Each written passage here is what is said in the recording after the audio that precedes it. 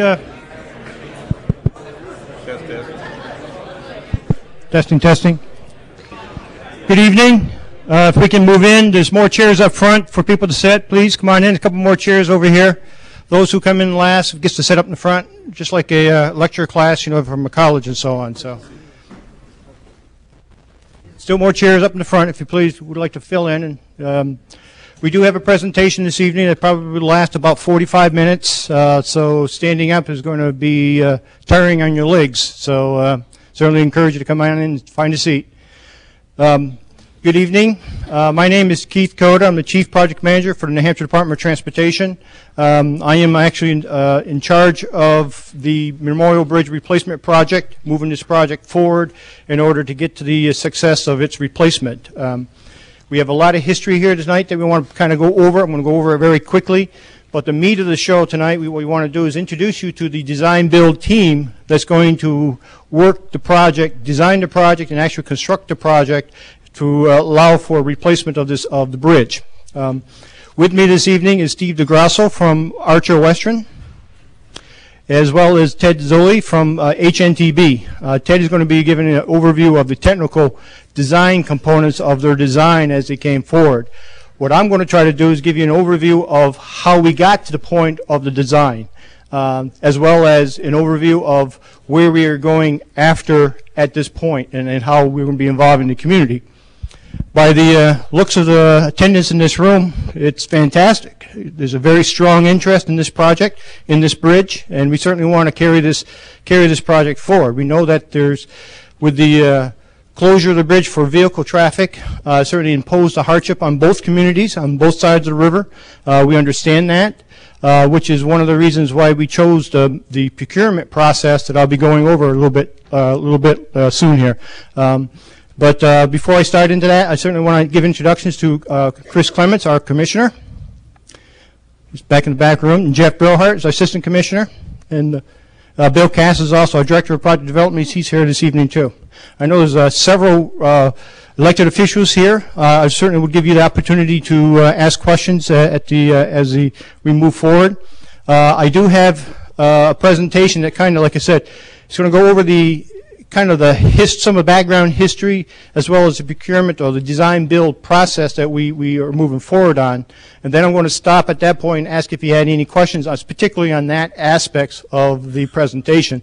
Then I'm going to be turning it over to Ted, who will be doing the presentation on their proposed design for replacement of the, of the bridge. So without any further ado, I'll get moving forward on the presentation. Um, we are certainly proud to be here this evening to uh, give an overview of, of, the project. This is basically the uh, what we hope to carry forward in our presentation this is, this evening.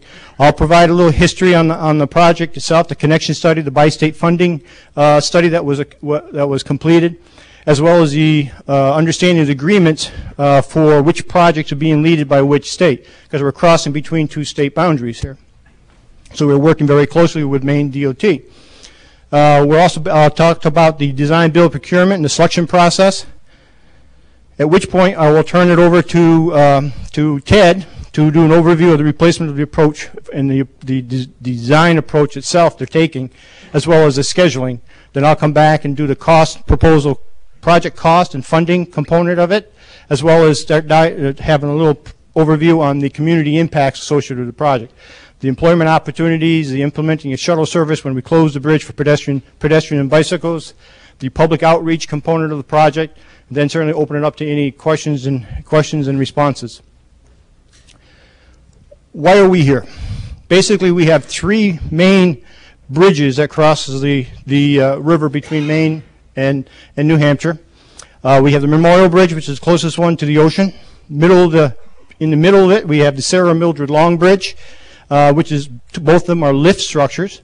One's a tower drive, meaning the Sarah, Sarah Long Bridge is a tower drive mechanism, whereas the Memorial Bridge is a span drive, just the way the uh, bridge operates, mechanic, mechanical components of the bridge. Uh, then we have the high-level I-95 bridge. Little information on the on the bridges themselves. The Memorial Bridge, as we all know, was built in uh, opened in 1923. Uh, you have a um, a person that lives in this community that actually was able to, was there when they cut the ribbon. Um, certainly was nice to see that uh, Easter reattachment of the ribbon with the intent of coming back for its re- for its cutting of the new ribbon. The uh, lift span itself, the middle span is th- over 300 feet long, and it lifts to a total vertical uh, clearance of 150 feet. That's that's 150 feet over high tide elevation. But when it's when the bridge is in a closed position, it has a clearance of 19 feet. So it certainly can pass smaller recreational vehicles. But anything a larger size of 19 requires the bridge to be up, moved up and down. The bridge in 2008 was actually opened up, up and down, up and down, that 150 feet for over 4,000 times. For a bridge that of its age, uh, being built in 1923, it, it's amazing how that span drive, that mechanism, actually is very effective to, to today. We had over 12,000 vehicles a day on that roadway before we had to close it because of the structural condition of the bridge. And we had approximately somewhere around six to 900 pedestrian bicyclists, depending upon the time of day, time of season, and so on. Um, and then we, uh, this bridge actually is the department's number one red list bridge. We have a, a, a listing of bridges that are in structural having structural uh, problems. This is the, was the number one bridge and still is the number one bridge. Um, and it, we had to close this bridge on July 27th uh, because of some structural conditions of the bridge and the cost to, to rehab was, was beginning to get too, too costly. And, um, and we couldn't really support the, the loading on that bridge any further. So, so we'll go into a little bit of, of the reason why the, the structure had to be closed. Sarah Mildred Long Bridge, opened in 1940. Again, it's a center lift span of about 243 feet, has a vertical clearance of 135 feet. Um, it has the uh, vertical clearance when it's closed, smaller clearance. It has 10 feet of clearance, uh, uh, but there is a rail trestle that is actually pulled out on the on the uh, Kittery side that allows for an increase in, in clearance for, for more of the recreational traffic volumes coming through that area and that has a, a, a clearance of 36 feet when, when that trestle, rail trestle is taken out. It has uh, over just about 15,000 cars a day on that on that bridge. Uh, it is restricted to pedestrians and bicycles, as well. Um, the um, it has a rail rail system underneath the lower truss of the deck system. It actually is a rail rail that runs across, and it has a federal sufficiency rating of five out of 100. Federal sufficiency rating is our way to measure a bridge for function, functional as well as structural conditions. So it's really quite low. Matter of fact, once we complete the replacement for Memorial Bridge, this bridge is going to become the number one red list bridge. So there's going to be certainly a need for addressing that structure very soon. I-95 bridge, uh, it has 440 feet of clearance over the river, over the waterway uh, horizontal clearance and 135 feet vertical. So it matches basically the vertical clearance that the Sarah, Sarah Long has uh, when the, uh, the bridge is in the up position.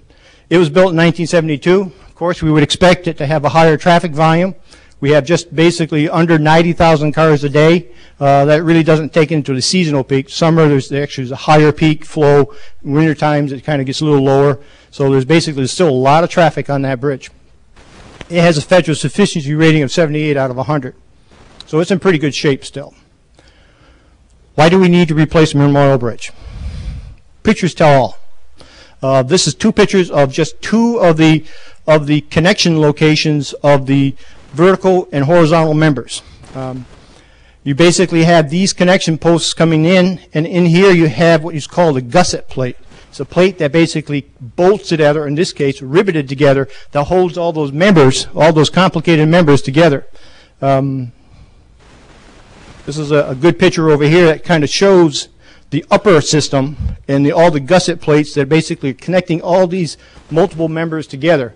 When you put those systems under the bridge, which is this location here, it, it it's subjected to more of the the uh, um, the environmental conditions, the, the weather conditions, as well as the salt uh, that we use for, for maintaining the roadway, it gets into those systems and basically deteriorates this, the gusset plates and the bolt connections. And this is another one showing the difficulty to getting into these locations even for repair. Very tight, tight constraints in here uh, in order to do this. So when you see this kind of sectional, sectional loss of steel, it certainly degrades the capacity of your bridge. It's reached a point on that bridge in July when we did uh, the inspection that uh, it was at a point where we could no longer really look to replace these gusset plates because we really had no steel to put bolts back through. So in essence, we had to close the bridge. Um, so as as a result of that, um, well, it wasn't as a result of that. It was actually prior to that. In 2007, 2008, you probably saw we were over. Department was over here in the community looking at a rehab of that structure at that time. Um, but we did go through a, a environmental process for the rehab, develop contract plans, put it out to bids, and the actual bids came in a lot higher than what the engineering cost was estimated as well as what the budget was. So as when you look at that life cycle cost, how much you're putting in for investment on a structure and having to go back and have to redo more work in that bridge, might be 10 years or 15 years, that life cycle cost wasn't beneficial for, for the investment that we're looking at. So we entered into discussion with Maine DOT to uh, look at what we need to do for this, these river crossings. As a, as a result of that, we initiated, uh, Maine uh, initiated with Department of Transportation, New Hampshire Department of Transportation, a connection study, 2010 connection study. The connection study was basically looking at the long-term transportation needs for crossing the river.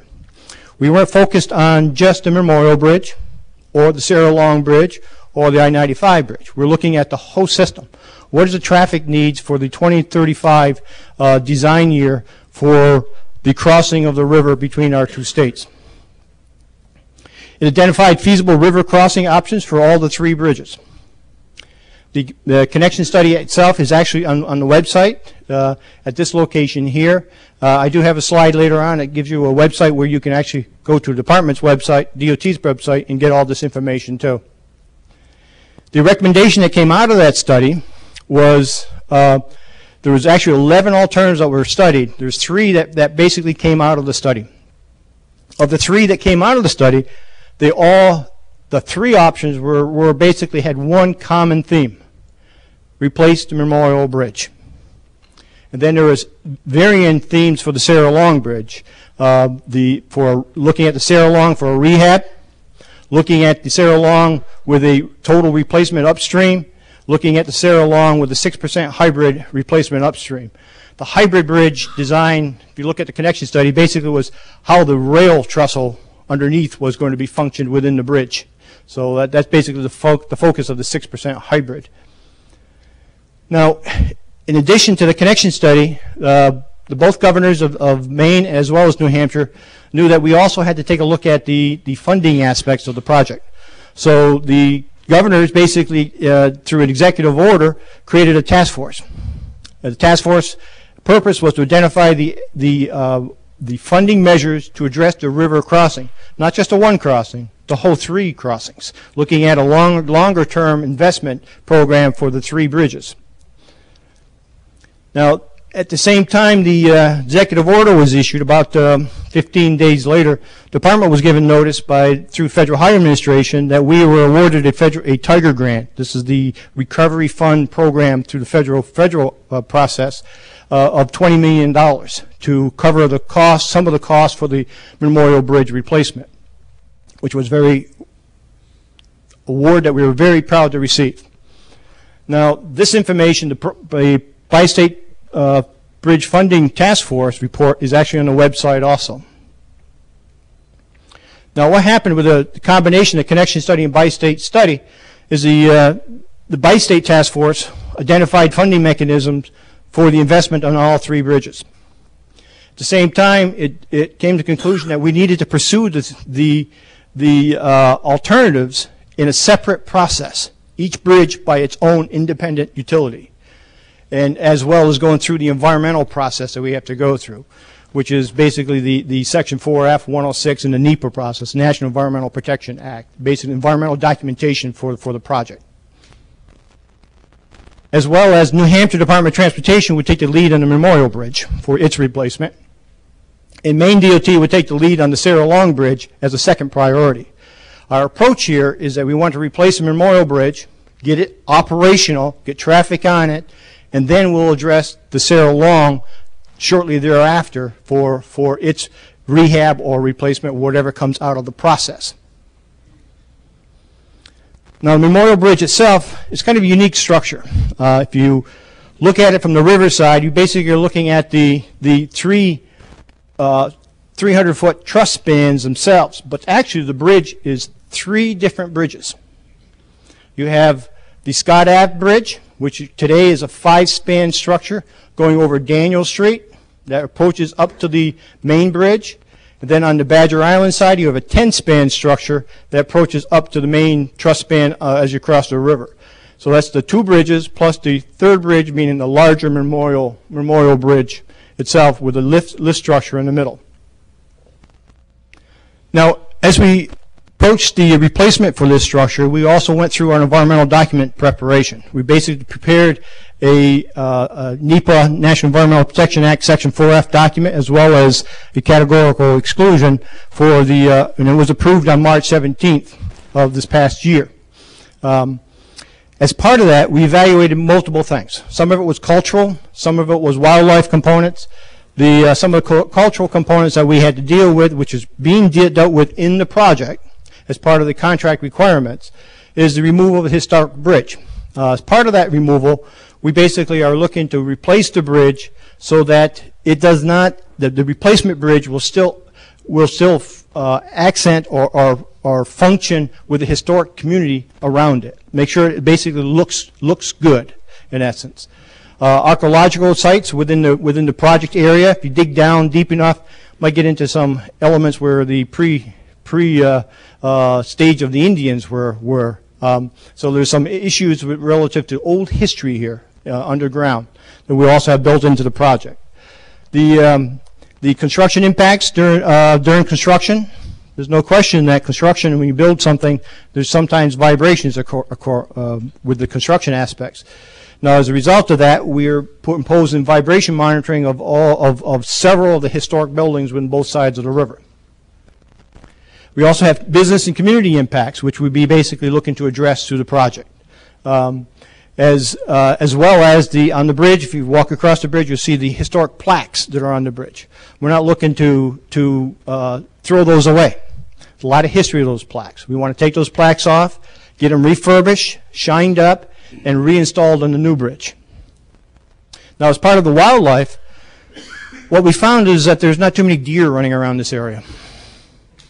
So mostly we found stuff that was in the water, the, the fish fishery, uh, the fish habitat.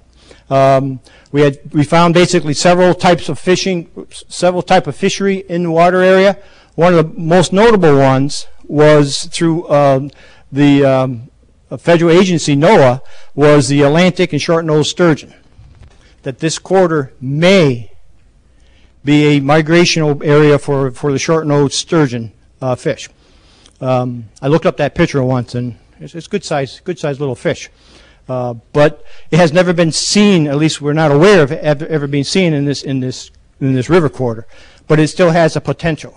Now, as a result of that potential, we have a restriction in the contract that basically says we can't, when we're in the water, we can't stir up the water and get some turbidity going in the water during a certain period, the migrational period of, of the sturgeon.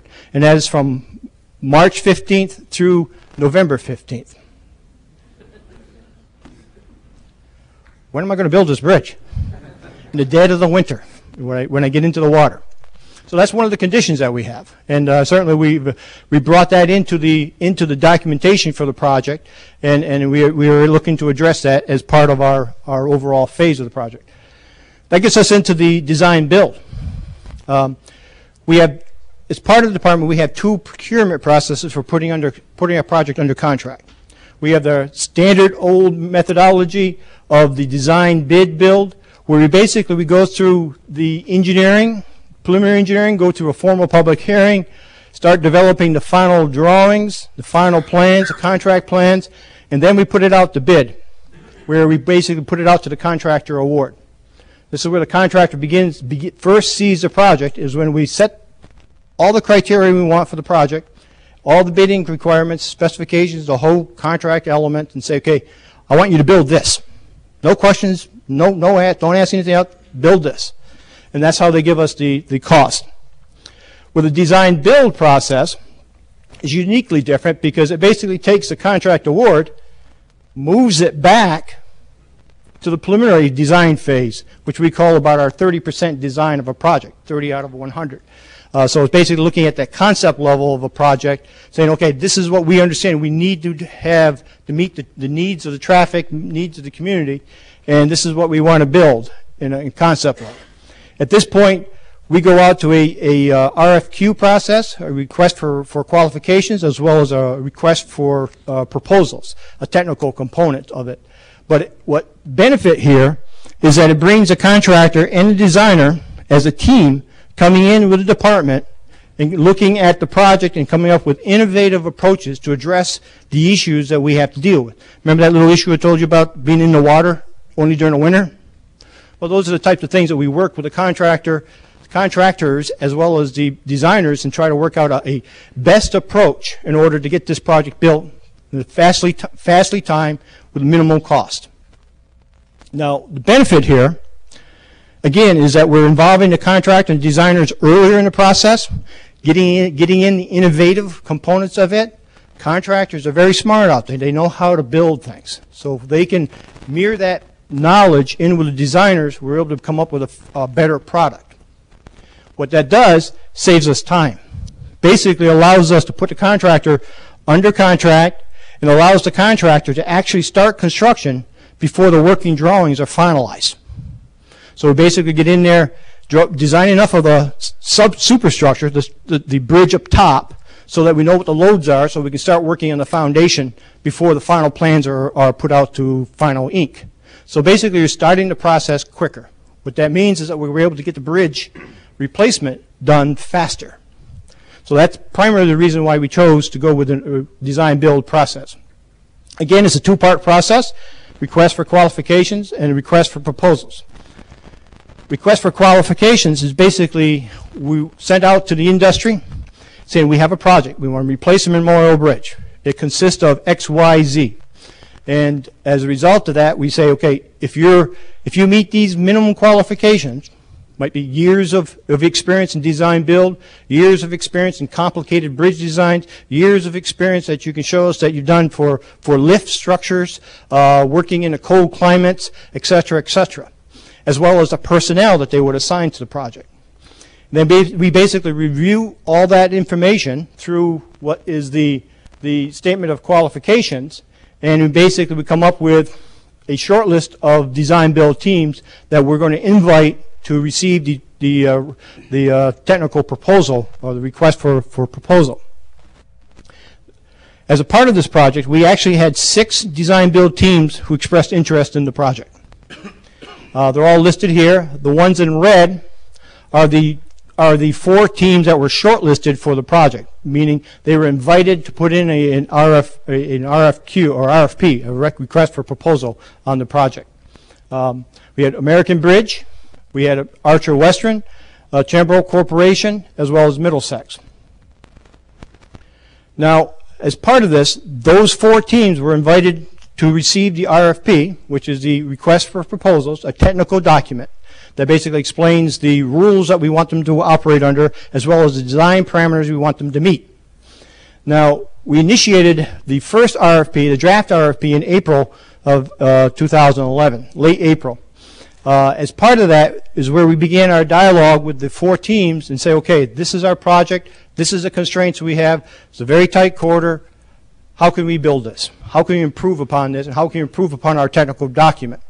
So eventually we, we finished a technical document in June of 2011, which in itself is a very big feat for us because it was a very short time frame uh, in order to achieve this. But it was is basically one of those things that we were we knew the community needed a replacement bridge, so we were holding everything as tight as we can in our schedule process.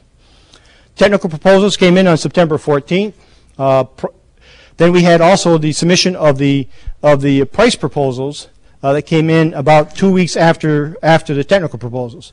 The price proposals is like the, uh, the contractor's bid basically comes in a sealed envelope. It's not opened up. It's put in a safe until we're ready, until after we completed the technical scoring.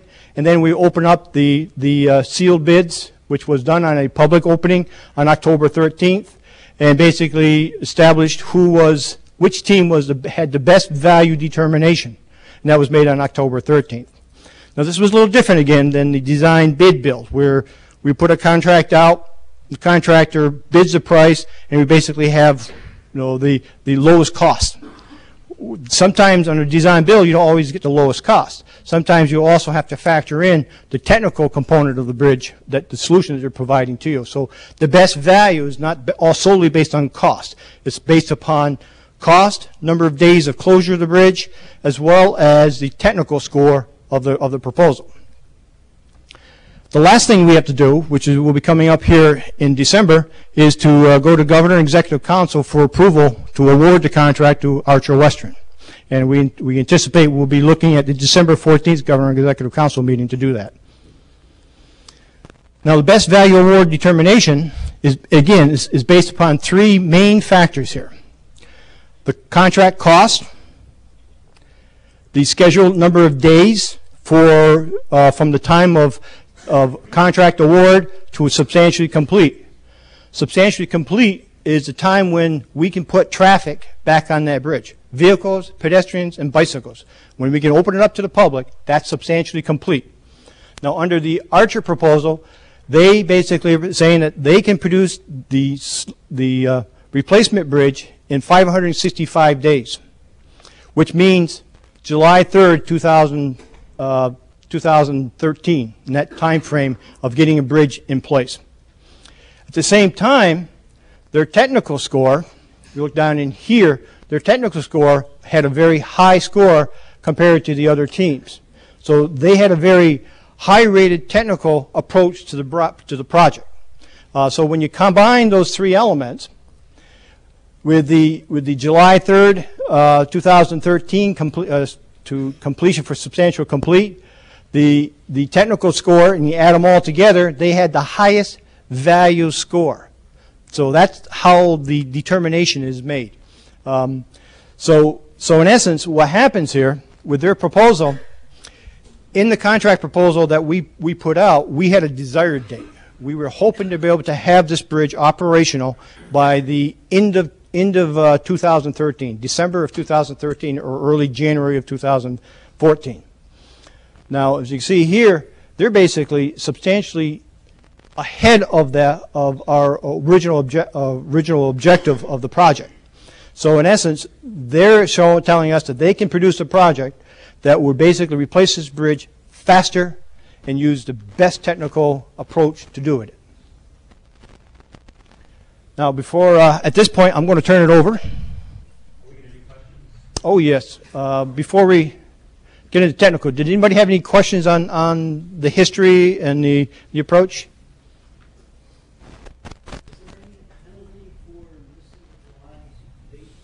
Yes, there is.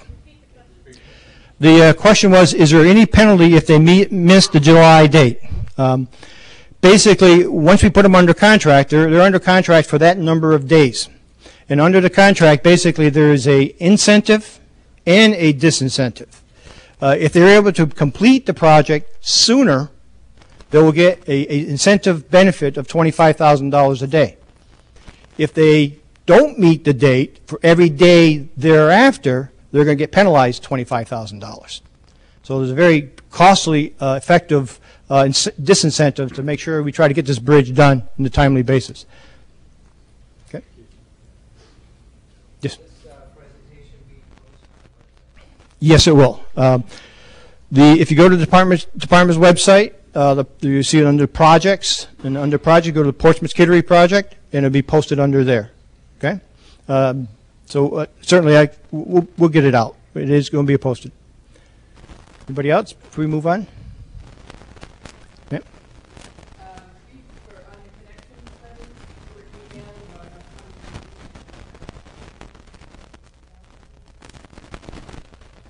Carol, could you take that and continue our Sorry, yeah, um, is it unlisted? Okay. No, it hasn't. Is it sheet here? If you guys can sign up, uh, sign up, your phone number or email, that'd be fantastic. You get your email and try to write it really, if not, come up with the afterwards.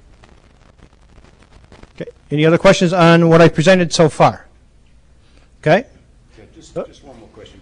The, um, in terms of how the bridge is going to look, you kind of skipped quickly. I re- really appreciate the presentation, but you skipped quickly over the uh, the aesthetic side, and it was connected to the replacement of the historic bridge.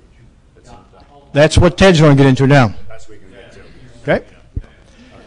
All right. The, the, we'll, we'll be moving into the technical component of the project at this point now, the pre- technical presentation. Ted? Yeah, okay. All right, let's see if I can figure this out. Um, so, uh, really, obviously, we're building uh, a replacement bridge on alignment and replacing what I think is one of the more important vertical lift bridges in the United States. Uh, and I would also say, in that context, I think we felt uh, compelled to be as innovative as we as we could be. Uh, and I'm going to talk through some of those innovations. Uh, and I, I mean this very seriously. Uh, in my view, uh, in some ways, we have to live up to the quality of what we're replacing. And so, I'm going to spend a little bit of time talking about uh, the the uh, the previous bridge designer. As you can guess, I'm a bridge engineer, uh, and I'm also very interested in the works uh, of the folks that went before me. Uh, and Waddell, the, the fellow who designed this bridge, is probably the most important bridge engineer uh, we have as in the United States. Yeah, and that's not. I'm not saying that lightly. But I also want to talk some about what we, uh, what our innovations were for the project, and and I would say, uh, I'm not sure how the Archer Western folks feel, but we felt like we took some significant risks technically. So we were uh, pleased to get uh, high technical marks, but but I would also say that this was not an easy competition to judge because we really pushed the envelope, uh, and and you may not get that sense directly from the visuals that you see behind me, but I think you'll get that sense when I talk about some of the details. Uh, and then finally, I'll, I'll walk you through uh, what some of those innovations were, both from the structural system side and also the mechanical system, and end a little bit with durability. So if we if we talk about Waddell, Wa- Waddell wrote what? Oh, please. Oh, I'm, I'm, yeah, I'm, I'm Ted Zoli. I'm the, I'm actually the, uh, the chief engineer of HNTB, which is uh, a very large, uh, um, established old firm, and it's a good place to maybe segue to that because our DNA starts actually with, with Waddell. So Waddell not only uh, wrote the book on bridge engineering, uh, but he also started pretty well every firm that continues to be functioning in movable bridge design, and many firms which are uh, known throughout the U.S. as the, the, the large and complex bridge designers.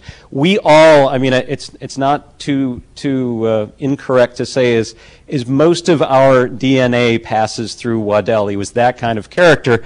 Um, and in particular, what he was known for was the vertical lift bridge. Yes, so uh, in many circumstances, at the turn of the last century, you got your chops as a bridge engineer by designing movable bridges.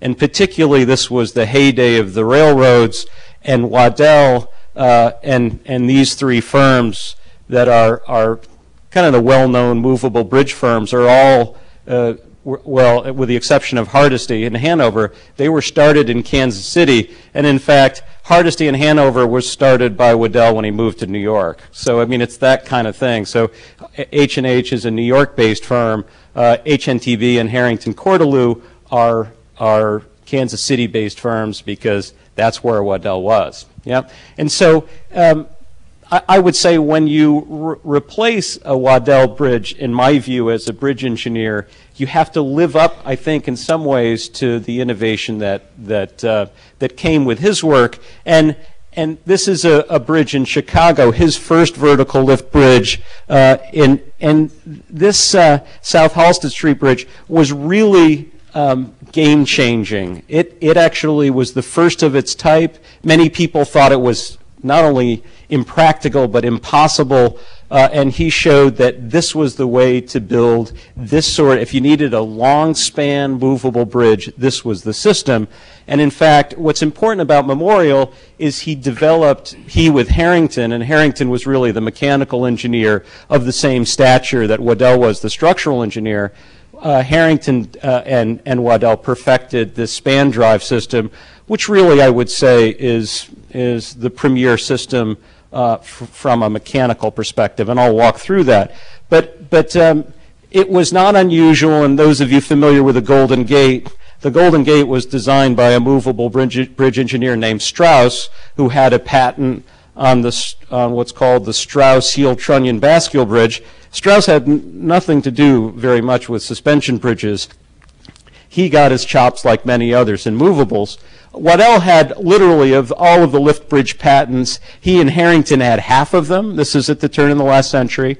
Uh, and in particular, his first patent on a vertical lift bridge included not only this feature of the operator house or the control house sitting above the span, which you'll recognize from Portsmouth Memorial and many other bridges, but interestingly, he put the machinery below the deck, uh, a, strategy that I'll come back to, something that uh, we're re-remembering in terms of our design.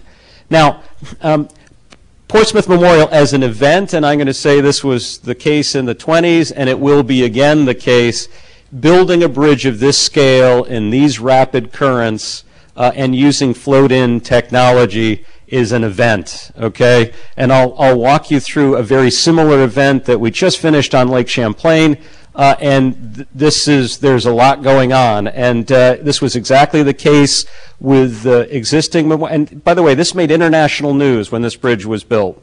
So it's, it's, it was uh, a, sig- a, hugely significant structure in its time, but even the building of it was significant. And so the same strategy, what's interesting, yeah, a hundred years later, nearly so, the same strategy of flanking spans first, the towers, then the lift span is exactly the strategy we're proposing. Uh, and so even though many things change, the strategy for building such a bridge does not. Now, uh, I'm, I'm uh, uh uh, practicing in New York mostly, and I'm very much have been very much influenced in my career by the September 11th events. And I got very interested in the way bridges fail. Yeah? And there have been far too few studies in the United States about bridge failure. And one of the obscure studies that I was able to find, uh, and th- this is a, I'll just summarize this quickly. There were, in a 12 year period from 1989 to 2000, there were 500 bridge failures. Yeah? And that's out of a population of about 600,000 bridges. That I would say is legendary. That's as good as the airline industry. So we only lose a few bridges. But you could argue 500 bridges, my God, what, what are we doing? Um, worse for me is this notion that of that 500 bridges, this is in percentages, a quarter of them are truss bridges. And, and truss bridges represent only a, a small percentage, say 5% of the population. Uh, and, and so they're failing actually. In many, in many cases, this is because they're older structures. They're failing at 10 to 20 times the rate of other structure types. So this is an indication that you ought to be careful with trusses, yeah? Uh, and, and in particular, uh, and something I'm worried about is how we design trusses, this methodology of design. One other thing that I would note is, is that on the right hand side is the thing that caused those failures. And everything that's in yellow, which is two thirds of the failures, is stuff we don't design for. So this tells you another thing. The, the stuff that we know about, we do a pretty good job designing for. The stuff we don't know about, we do a lousy job designing for. And so I'm also thinking in terms of strategy about essentially how to deal with the unexpected, the unforeseen. And so that's really uh, uh, figured in quite a bit to my career and my understanding of the way we should be designing bridges differently. Now, for those of you who don't know this, this is the I-35 uh, bridge in Minneapolis that collapsed on one bright, sunshiny day for no reason. And National Transportation Safety Board never gets involved in bridge collapses unless they happen for no reason and this is one that happened for no reason.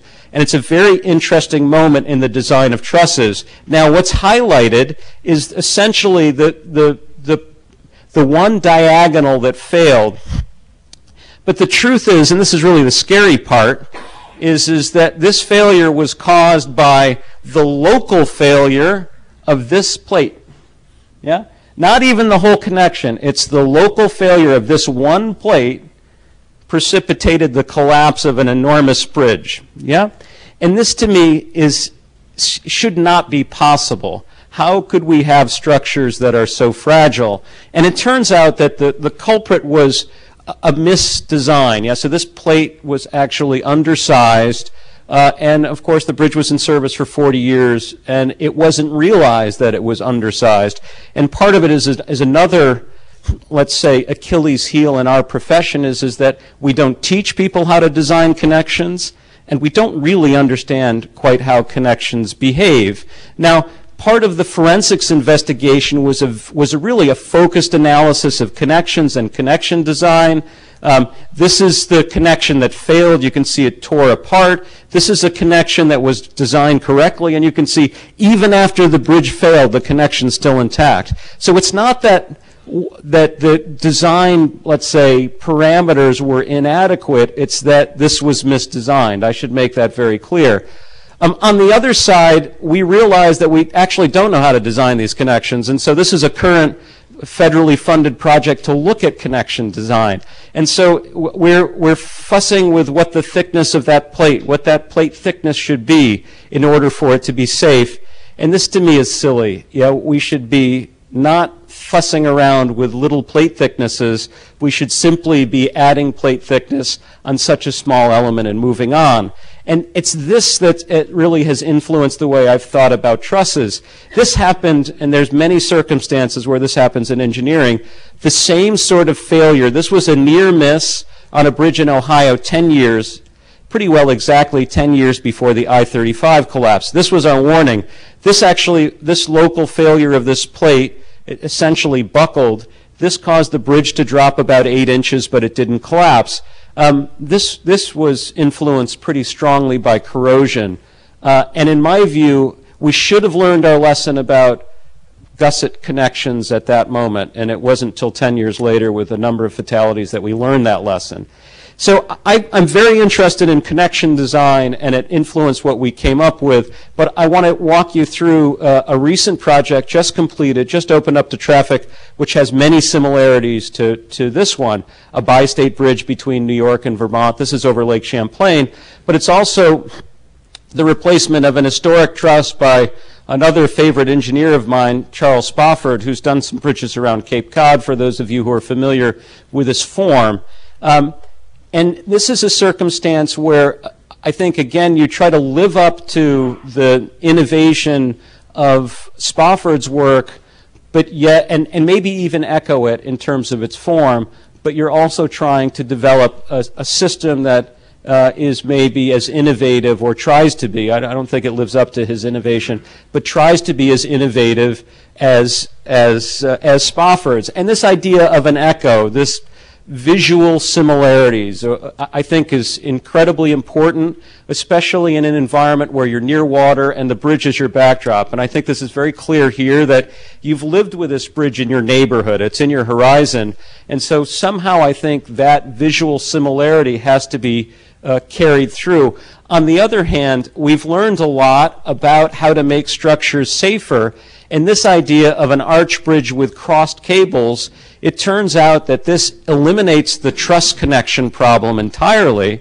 And wonderfully, you can fail not only one cable, you can fail two or three cables next to each other and the bridge still is intact and still can support live load. So this is a way by crossing members, you can get to a much safer structural system.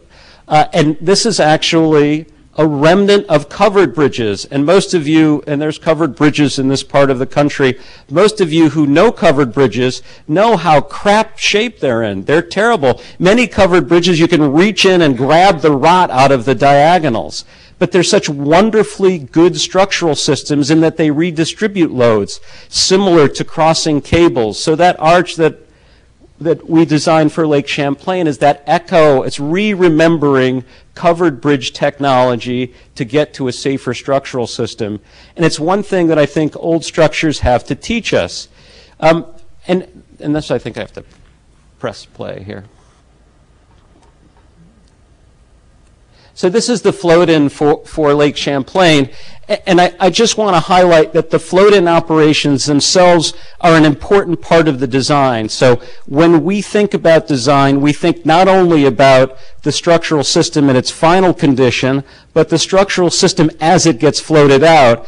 And, and these are, how would you say, they're events, I think, for, for the folks uh, in the vicinity uh, and, and certainly the communities that surround the bridge, but they're also events for us, and I would say they're the sleepless night sort of events. You're never quite happy until the bridge gets to its final resting place. For us, this happens not once, but three times, and really three times two, because we have to take the old bridge out and put the new bridge in. And when you add the complexity of the counterweight, we have one more trapeze act uh, that is going to uh, to happen during this reconstruction. So there are many good challenges. Um, this will uh, typically take about a day, uh, the float in, and in this case, it's heavy lift.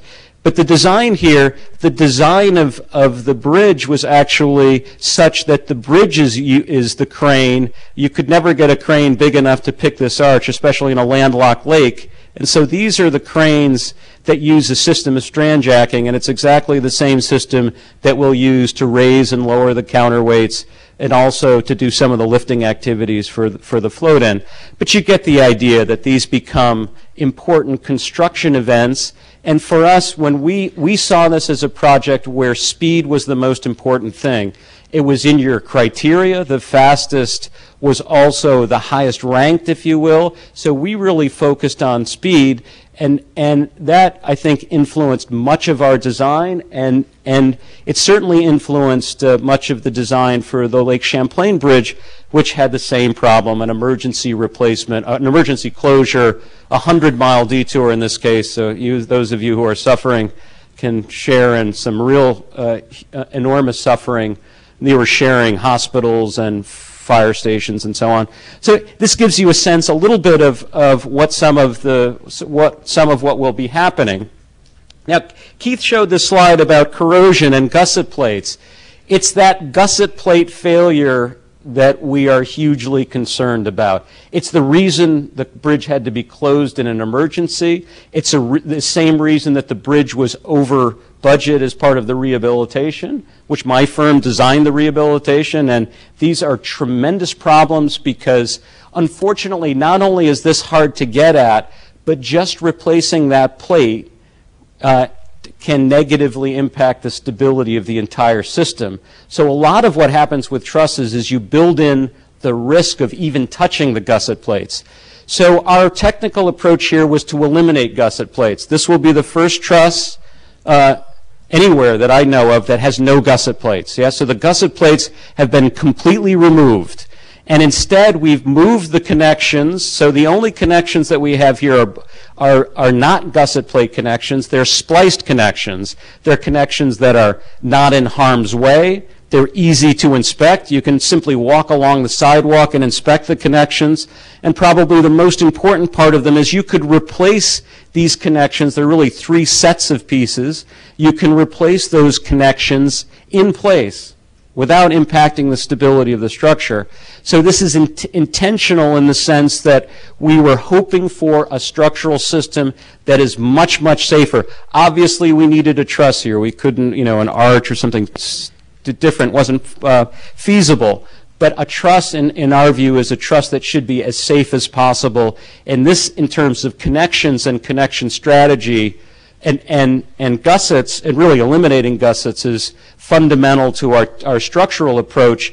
Uh, you can also see that these elements are bent. Yeah, so we are bending uh, steel, and in fact, this is probably the biggest single development in steel fabrication in the past 10 years is our ability to accurately cold bend structural steel.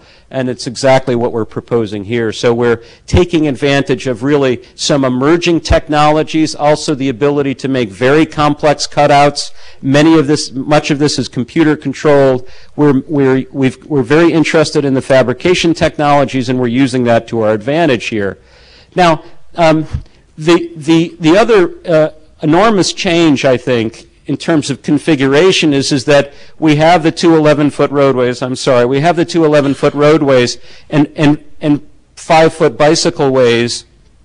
Um, and by the way, this is exactly the configuration on Lake Champlain Bridge, but we elected to put the truss on the outside of the sidewalk. So before, in the current bridge, the sidewalk is outside of the truss.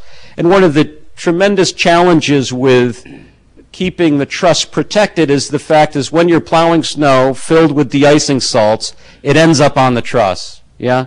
And so in this circumstance, we avoid that piling of, of salt-laden snow on the truss by having the sidewalk in between. And I would say that that not only cleans up the design of the truss, uh, it also uh, gives you a, a wonderful, uh, let's say, enhanced service life by not creating that problem with snow and salt-laden snow storage. Uh, the other thing is, is that we've adopted uh, uh, uh, a rail system that I think has some enhanced safety for pedestrians. So the pedestrians are really separated from tra- traffic by a vehicular rail, but that vehicular rail is is a little more robust. Now, as Keith mentioned, these are really different looking systems. All of the lacing and gusset plates and all of these areas which are difficult to inspect, difficult to maintain, and expensive are, are gone. We're using now rolled sections with very clean connections, and it does give you a, a, really a different aesthetic. There's no question about it. But a lot of that aesthetic is based on embracing really what are some uh, groundbreaking ideas in truss design. Uh, so the overall effect uh, in, in, in the sense is quite a bit different. We've made visually all of the truss spans are exactly the same. Yeah, it's an it's really an unusual and it's a little bit hard to see. But I'll try to point this out.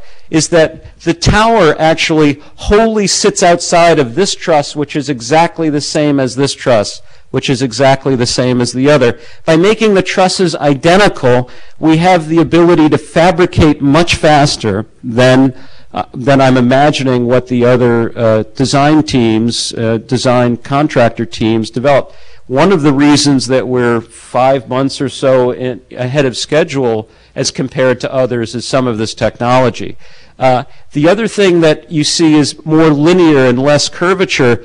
The, the curvature in, in truss design is actually, in a way, adds to some complexity. Complexity in the way the, the lateral bracing works and complex, complexity in the way the truss works. That complexity, I would argue, does not lead to safer structures. It leads to less safe structures. But the biggest change here is you can see that you can see how deep this truss is versus how deep our truss is. Truss depth, it's a funny thing. The deeper the truss, the smaller the members. Okay? And so one of the great challenges maintenance wise is you're using members on the existing bridge that the plate thickness of the members are a half inch thick the connection plates are sometimes three-eighths of an inch thick. With corrosion, if you lose an eighth of an inch or a quarter of an inch, you've lost half the section.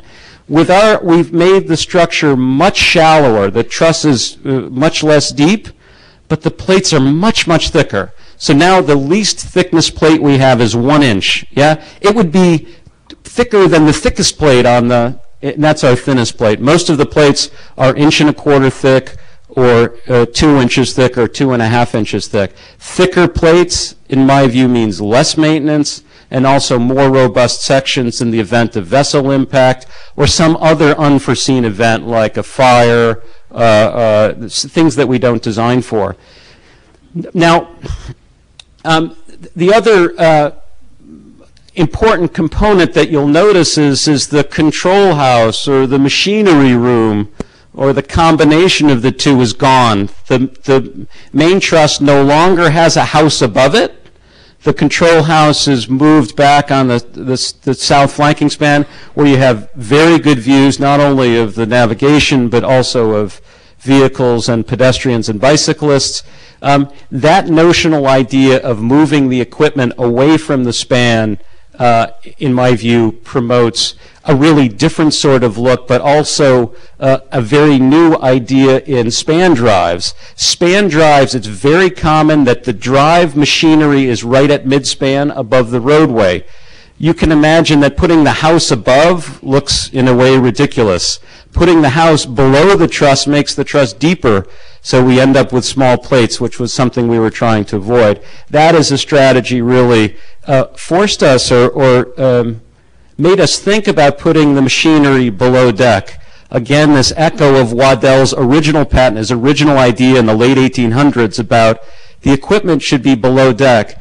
Uh, what a good place for the equipment when you think about, you know, those of you who've walked over the bridge and you've got oil with ropes above you, oil dripping onto you, and so on. That's really not the right place for machinery, I think, from a lot of perspectives. And so part of the idea here is some machinery innovations that I want to walk you through. So this is gone now. You have the machinery, and it's almost hard to see, is distributed not placed at the middle, but distributed to each end span. And so you can see in this circumstance, the control house is, and machinery room is a very visual part of the, of crossing the span. And you can see all of this lacing, and, and th- this is uh, something that tends to be very labor intensive to paint and to rehabilitate and a lot of corrosion and losses there. Those are really gone. Uh, and, and I'll show you uh, what the, the, the view of the new bridge looks like, but you get the idea. No, no control room, no machinery room. So the machinery room ends up at the end of the bridges. You'll have the same equipment that raises and lowers the bridge, but it's now below, out of sight, uh, and also out of, uh, how would you say, the, the sort of oil and greasy part. That happens outside of the plane of the sidewalk really underneath you, away from you. And then the other innovation is, is that rather than having ropes, and this is a little bit what I call chitty chitty bang bang, this, this moment from uh, uh, what I would say is a wonderful character of span drives is, is that you essentially wind a drum and the rope on the drum makes sure the bridge goes up and down and it's been wonderfully effective as a structural system or as a mechanical system. We've opted for shafting. So there's a shaft that runs the entire length of the bridge, but it's in the plane of the bottom chord so that it's not very visible, but the machinery in elevation in the bridge will truly be visible, and it's all readily inspectable and maintainable from a catwalk. But all of the work that, you know, above ropes, which would be dripping on the sidewalk, all of that happens now adjacent to the bridge uh, in a, in a, a maintenance-friendly environment. Uh, in, in our view, that is a much more reliable system, even though you have one of the most reliable mechanical systems uh, that there is. Now, the other innovations are in the weeds, if you, but for those of you who like the weeds, um, this is the first time that that um, 12 spoke sheaves have been used, to my knowledge. There may be circumstances where usually sheaves, and this has been sort of repeated year after year. We've done the most sophisticated analyses that we've ever done on any project uh, for mechanical systems and have adopted something that's a little bit more like a bicycle wheel, more spokes, uh, but less complex fabrication. And I would think that uh, that Waddell would appreciate uh, that sort of in the details uh, um, development of what are tried and true systems, but they've really never been what I would say is is um, optimized. And the same with the drums. This is the part that the that the operating ropes, the ropes that lift and lower the bridge, they wrap around this drum. Same idea. We've done some very detailed evaluations to get these, what I call, to put these on a diet. The, the heaviness in mechanical uh, engineering oftentimes results in problems as opposed to solves problems. So here we're really looking at optimizing the mechanical system. Now, the last thing I'll leave you with, and there's some samples up here that we can pass around if folks are interested, is that we wanted also, and we've proposed to use a corrosion protection system to get enhanced durability. Now, this is a corrosion, what you, what the, you typically uh, do in, in really both states, many of the, the New England states, is to use a three or a four coat paint system, which has a, it tends to have a zinc rich primer and then an epoxy paint and sometimes one or two top coats. This is a, a sort of, uh, how would you say, getting protection from layers, a layered defense. Um, the strategy that we're proposing is metallizing, where you're actually spraying a corrosion resistant metal that gets into the pores of the, of the steel that you're trying to protect. And this is by far a much more durable, much more, much longer lasting, much hardier uh, system for from a corrosion protection perspective than paint, and roughly somewhere in the neighborhood of double the life expectancy. But probably the most important characteristic of zinc is, is that it is sacrificial. It corrodes before the steel corrodes. So even if corrosion begins, it gets used up in the corrosion process. So it is, it's the reason we use zinc-rich primers is because they have the same characteristic.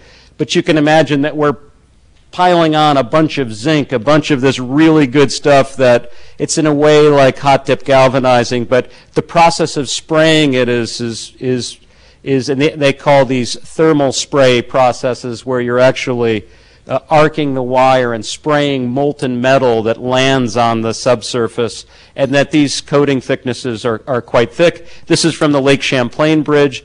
They adopted this, this strategy for the same reason. An old bridge that had truss connections that were problematic for many years a maintenance nightmare and uh, really trying to get the longest life from the paint system or the corrosion protection system, we're, we're recommending this metallizing. And this is something that's typically shop applied. It can be touched up in the field, but we found with Lake Champlain that it's also very hardy coating uh, and that we did not end up uh, with much field touch up at all. And one of the things that I quite like uh, is that we can even take the individual plates that we're connecting. So this is exactly the sort of splice that we're talking about on, on, uh, on Memorial, and each plate has this very heavy corrosion protection system. So it's not that the outside plies are the ones with the corrosion. It's each ply, each piece of the puzzle has got that same corrosion protection system. So the connections should be, let's say, even more robust than what we've seen in the past. And that, as a strategy, is, is really so we've got some innovations on the mechanical system, some structural innovations that really focus on safety. There's some foundation innovations that I think would bore people to tears, but the challenge, as Keith mentioned, is staying out of the water. Yeah, the, the, the working in in the winter months, uh, and I grew up in in the Adirondacks, so I've got a, a little bit of a sense of how nightmarish it is. But on the water in the winter is no fun. So our strategy is actually to drill through the existing foundations and leave those in place.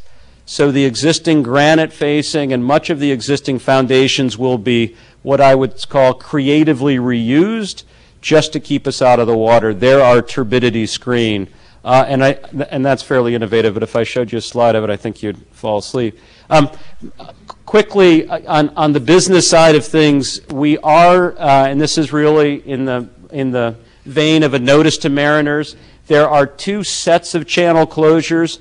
The demolition channel closure is right around the corner. We're proposing uh, the January 30th uh, week, uh, and, and that's beginning at 7 a.m. on the Monday, a three day closure window.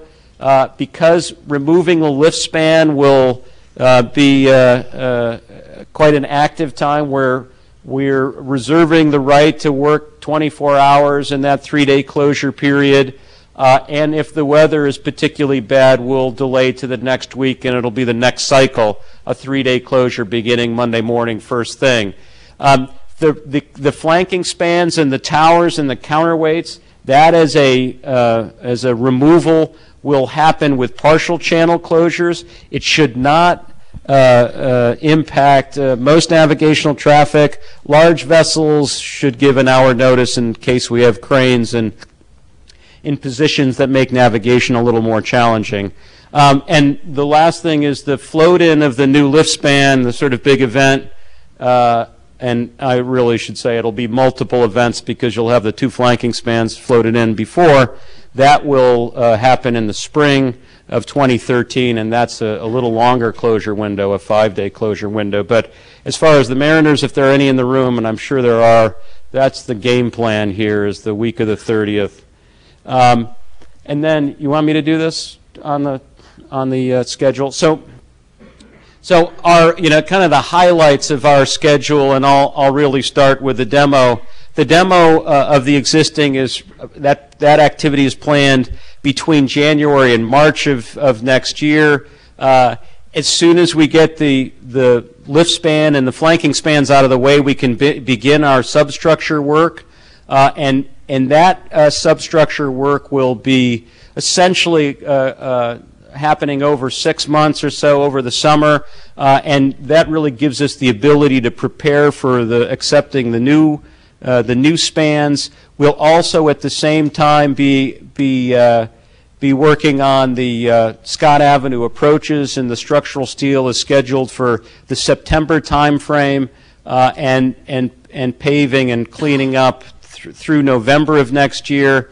The, the float-in operations for the, for the, not only the flanking spans and the lift span, the- even uh, the, the uh, installation of the counterweight, all of that on both sides, all of that will happen in the, in really the spring of 2013. Um, June of, of 2013 is where we'll, we'll, we'll begin testing of the bridge and completing pavement markings and signage uh, with a planned opening in July uh, and, and early July, as Keith mentioned. Um, That doesn't end the process. There still will be some cleanup and site work and work around, but this will be substantial completion so that, so that vehicles, pedestrians, and bicyclists can use the bridge uh, beginning in July, and then final closeout, we're anticipating uh, on the, on, uh, or about November 2013. And th- this is the, the, kind of the critical path for us is that, that July 3rd date. That's what we're trying to hit. With that, I think I can a- answer questions about the technical, or you want to roll right into the finish? Yeah, then we come back, yeah, all right. Thank you, Ted.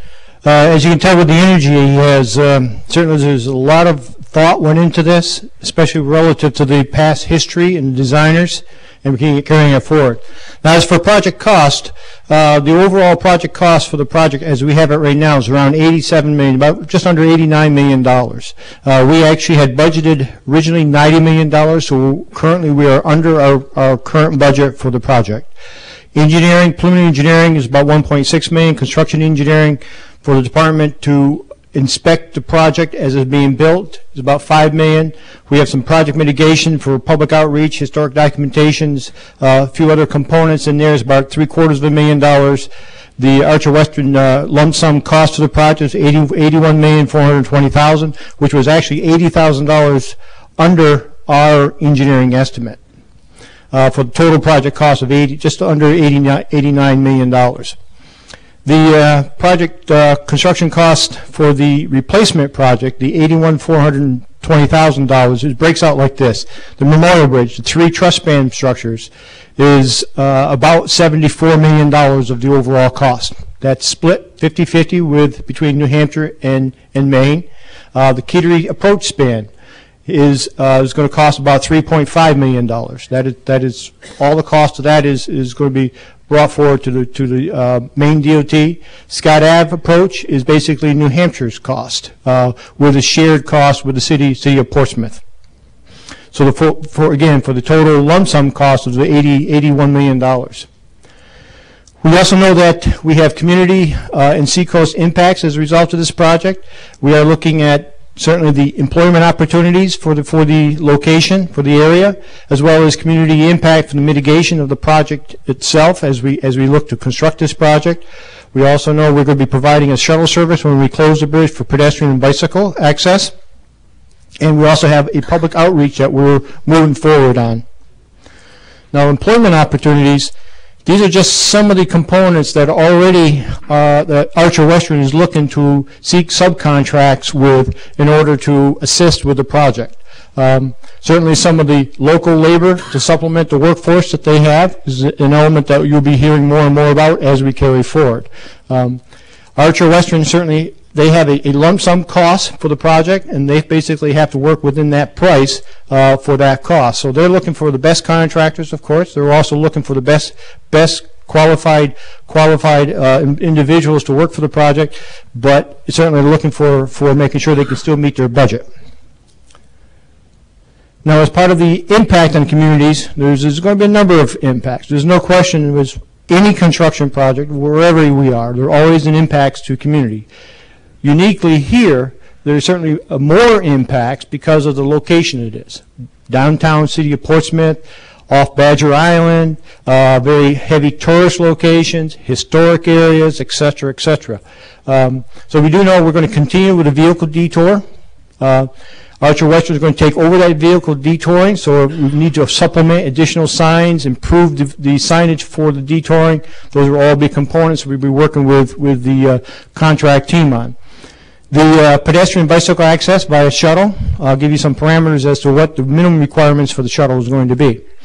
Uh, Noise conditions, we certainly were concerned about noise for extended period of times. We have limitations that you have 7 a.m. to 7 p.m., uh, with the exception of the navigable, navigable closures. When we got to close the navigation, we want to be able to work on a 24-hour period so we can shorten the cycle time that's needed. So we delay, not delay, but we'll minimize the delay associated with the, with the shipping through the channel. We also have the vibration monitoring, uh, as I noted earlier, many historic structures. Uh, We certainly be looking at making sure that the work that we do as part of the construction doesn't cause severe vibrations to the point where it will affect the buildings that, that are nearby. The business interruption, we're looking at a public outreach to provide assistance in marketing uh, of, of the area as the project is being constructed. We are also looking at staging areas and construction access. We do know the Memorial Park, as you approach the bridge itself on the Portsmouth side.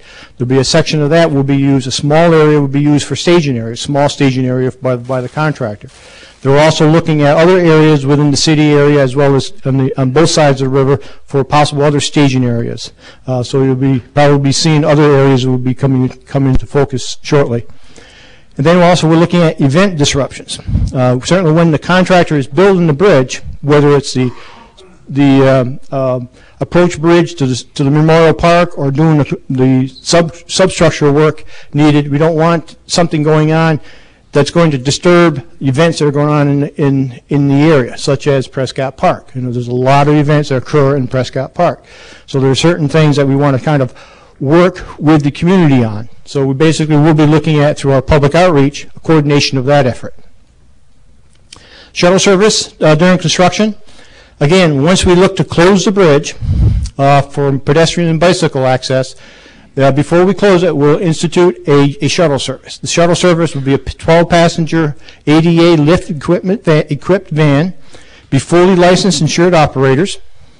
It will have a six bicycle capacity carrier, and it will have bus stops located in the area of Prescott Park, um, Prescott Park, Memorial Park, basically at the end of the bridge area, as well as at the intersection of Newmarch and Water Streets in Kittery. The shuttle operation will be a seven-day operation. The hours of operation will be from, uh, will be seven days a week. It'll be from 5 a.m. to 1 a.m. And it will be on an hourly schedule. So every, even the top of the hour will be a pickup, drop off, possibly in Portsmouth, and then the half hour would be pick up, drop off over in Kittery. So basically a, a cycle. And biggest thing here, there's no cost. Now, as part of marketing, uh, public outreach and marketing objectives, we have basically four, four objectives. We have a community input and public relations. We want to improve the community input, get, get the input from the community, as well as, as improve relationships or develop good relationships between the Department of Transportation, as well as the contractor, the designer, and the community itself, the whole community. Uh, we're looking at the business marketing and art promotions. We're also looking at a public educational outreach. We're looking to go out to the schools. Could be the college, UNH. It could be the local high schools. It could be the local junior high schools on both sides of the river to basically promote what we're doing here. If you think about it, we are creating history. So we want to to bring this forward to the to the students to to basically bring their interest in the history that they're they're experiencing. At the same time, we're looking at generating a lasting physical product. It could be a book, it could be a DVD, uh, some some type of a document that basically documents the history of the existing bridge, all the history that that Ted basically explained about, and then the new history of how that innovation in the old history is being incorporated into the new bridge. Now, we're also, as part of that public outreach, we're going to be developing an advisory committee. Uh, We anticipate the members of the advisory committee will basically consist of these, these seven primary areas, plus additional parties as, as is determined necessary. So we'll be working with both communities, uh, Kittery side as well as City of Portsmouth, in developing the representatives for, for advisory committee. We envision this advisory committee probably meeting on a monthly basis, and basically we're coming up with approaches as to how to improve, again, communication, as well as marketing uh, for the whole matrix of, of the community involvements that we have out here. What we're looking for, we're looking to move towards success. Replace this bridge in the shortest amount of time within the budget that we have. This is the location here where you can pick up basically all the information that we have on the, uh, on the project, the, the request for proposals, the request for qualifications, anything that you want, it's on that website, uh, including, tomorrow I'll be posting the presentation that we presented, presented here, be posted on this website. So feel free to jot that down. And again, it's, all you have to do is just go to the, uh, the state website, go to DOT, go to the projects, and then look for Portsmouth Kittery 13678F contract, and it'll take you right to, right to a whole slew of information that will keep you up all night. With that, we'll open up to questions and, and comments. Uh, Our commissioner certainly is, is available for any, any questions that you might have. Uh, We also have myself, and also we have Stephen DeGrasso from Archer Western with their email access in there. So feel free, if you have questions, email us, ask the questions, we certainly will get back to you. With that, we'll open it up to questions and answers. We are being recorded, so if possible, if you can come up to the mic here so, so that it can be, so you can get, get you recorded on it. Hi, good evening. I'm Lisa DeStefano. I was born and raised here. I spent my career as an architect trying to make a difference in this community that I so love. Throughout history, when mankind has been faced with, with adversity, it has sought out the solace and up, uplifting nature of beauty and art. In times like the ones we face today, it is more critical than ever to maintain that in our lives, which gives us hope and inspires our sense of achievement. Clearly, there are financial realities to consider and important choices to be made which reflect compromise. In that spirit, I'm here tonight to offer a compromise which I believe balances the fiscal responsibilities and the needs of the human spirit.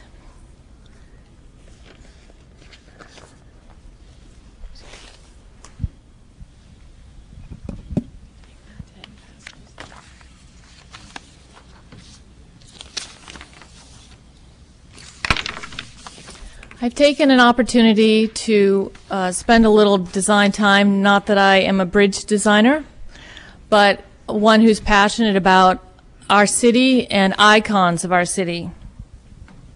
Not too many years ago, we had a restoration of the North, North Church steeple, and the community rallied around that and was thrilled with the product that was completed. I admire the innovations, the concern about timing, the thoughts about maintenance and engineering. And what I bring forward today is an idea of uh, icing on the cake, if you will. And, and uh, Keith, if I could just take that microphone for one minute. Thank you. I'll use the example of this uh, image here. What I proposed with the diagram that I put together is a series of cables which would not be structural, as far as I can understand bridge structure, but pieces that get added on that would harken back to the arches or the sweeps that we see in the existing build, uh, in the existing bridge. Certainly, I understand the need technically for the simplicity and the design as it is now, but the idea of bringing in some arches here with cables and structuring it back on both sides, I believe would hearken and pay homage. Thank you. and pay homage to our existing Memorial Bridge. something that we are hoping to see for many years and our children and grandchildren to see for many more years beyond that. So with this option, I know that we're, uh, from what I understand, 30% design, and I know that there's budget and timing issues, but I hope that you can seriously consider adding some character back onto this building, or on, onto this bridge, and again, pay homage to this uh, beautiful bridge that we have seen for many, many years. Thank you. Thank you. Any other questions, comments? Can you come up to mic, please?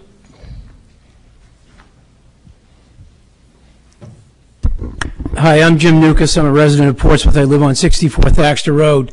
I'm here tonight to speak on behalf of two organizations, Portsmouth Listens and Sustainable Portsmouth. Both organizations are committed to making Portsmouth the best place to live and work for everyone. Since 1998, we've been using a dialogue process to help inform important decisions in the community. This is a process by which uh, people engage in a deliberative process in groups and help uh, deal with issues at hand, aesthetics of the bridge, impact on the community, or things of this nature. Um, both Portsmouth Listens and Sustainable Portsmouth identified transportation as one of the key issues facing our communities at this time. And we see the Memorial Bridge as a very important aspect of transportation in this area. So we have proposed and, and already met, put together a group, and we met with Commissioner Clements and offered to collaborate um, with the states and with the contractors to help in the community engagement process and community input process. And we look at it this way.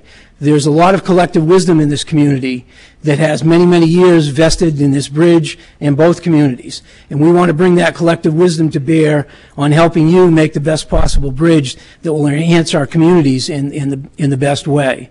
Um, we're hoping and looking forward to the contract being awarded and starting to work directly with the contractor. And we're looking forward to a community conversation around the Memorial Bridge and issues related to the Memorial Bridge as early as January. So we look forward to working with you, and we welcome you to the community and, and hope the community can be a serious part of this project. Thank you. You're welcome, and certainly we will take you up on, on that. Um, I'm Peter Somssich from Portsmouth, and um, I was on the Connector Study Group, and I think there's a lot of people here who were on the Connector Study Group along with me. So I wrote down some of my comments because I think my history is a little different than was portrayed here uh, after this whole process. And I want to say, first of all, that I'm totally impressed by what the DOT did in such a short time, and I'm very impressed by the technical features and the novelties that are part of this new bridge. However, I'm underwhelmed by the public and community participation to date, and I understand that that had a lot to do with the scheduling and the, and the stimulus money and so forth. So just let me add a few comments, however. Uh, approximately a year and a half, uh, um, for approximately a year and a half, consultants hired by the DOTs of Maine and New Hampshire asked some hundred people to be partners, advisors, and stakeholder representatives, such as myself, to be a part of the Maine-New Hampshire Connection Study.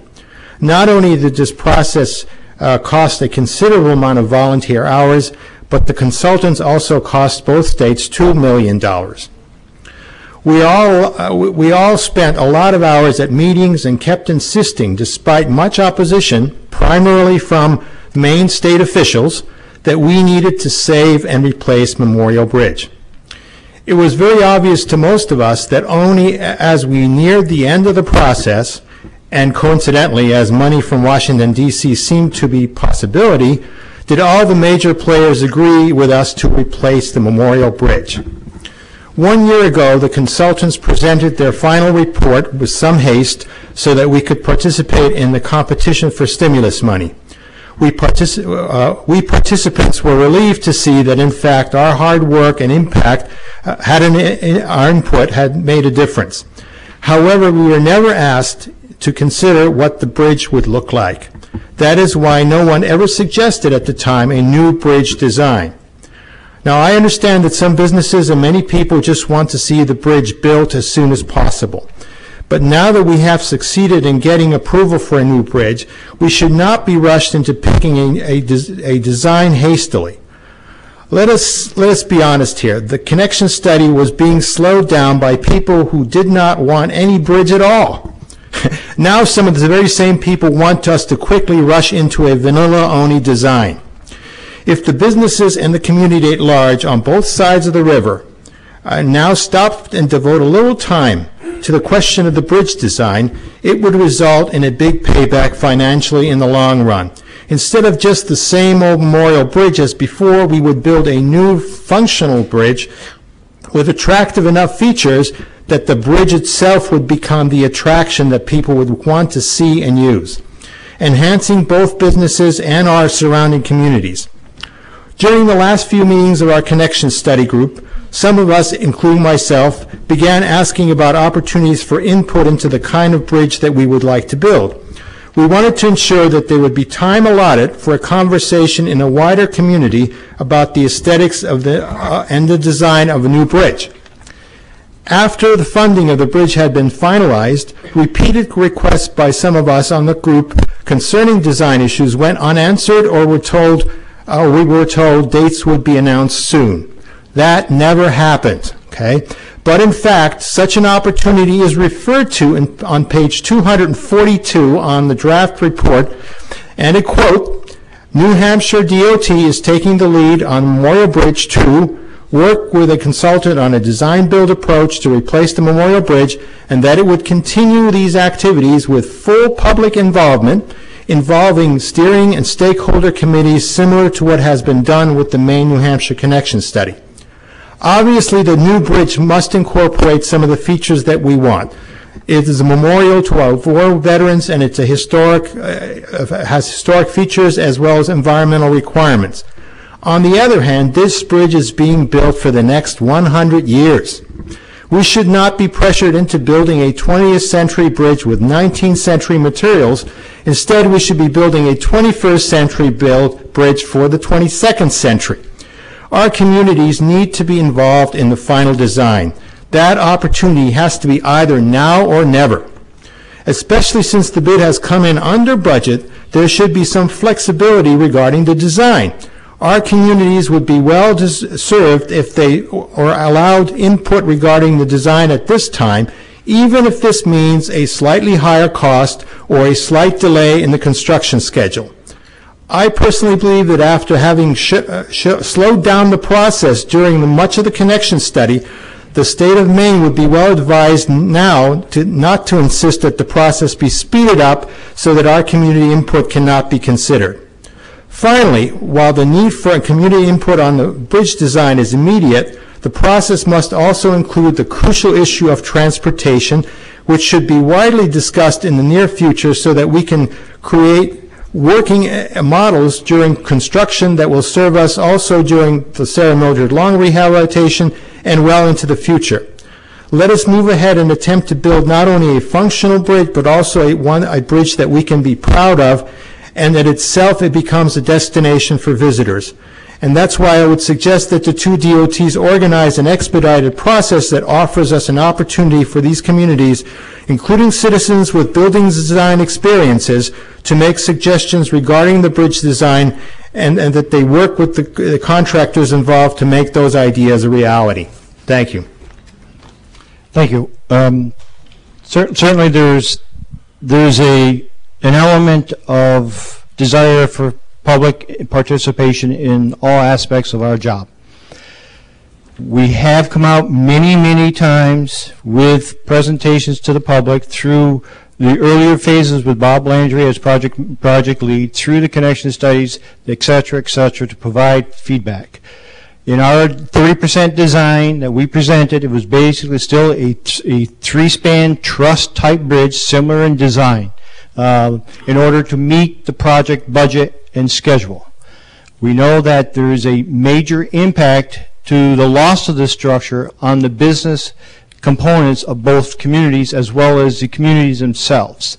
So the longer we delay, certainly the more hardship is going to be imposed and more cost is going to be incurred. So one of the difficult aspects of, of uh, design build I would say that there's very positive gains with design build. We'll be able to bring in innovation, bring in solutions. We basically took the community's input, provided that into the request for proposals, and had the contractors provide bridges, basically proposals that will meet those, those basic elements that we understood the community needs or desires. Now, unfortunately, through the design-build procurement process, with four design teams looking at the proposals, there's confidentiality requirements. We are not able to go out to the public and display the whole gamut of the proposals and get public input. There's confidentiality components where one team doesn't really want to see or wants to see what the other team's doing so they can better it and so on. So there's, there's rules we have to play by. Very specific legal rules we have to play by. So in essence, that's one of the backdrops of the design build process is that the the public element is is is kind of limited. Uh, but we did involve the local community. We involved the city of Portsmouth in the in the evaluations of the RFQs as well as the RFP, the technical proposals. The, the providing the input from the community into the into the project. We also had the the uh, um, the both Maine and New Hampshire involved in this. Uh, and the whole process is, is a very delicate process to go through. We also had Federal Highway Administration uh, being an overseer of the process. We even had our Attorney General's office participating in and making sure the fairness and the transparency in the process is followed. So in order to make sure we didn't complicate the process, causing a hurdle where we end up with longer time, resulting in longer hardship, basically results results in the process we have before before you tonight. Is there areas where we're still looking for public input? No question. We are still looking for public input. Uh, whether there's some design minor, not minor, some type of design modifications that could benefit the community to a higher order, we're willing to listen to that and look at the price and the cost of, of it. But are you ready to accept longer delays in getting this bridge done? That's what it's going to cost. The longer delays, the more money. We have a set budget. So if we, you know, we were basically $80,000, $80,000 under our engineering estimate. That's, that's pennies to the dollars. So how much change are we looking at? We'll listen.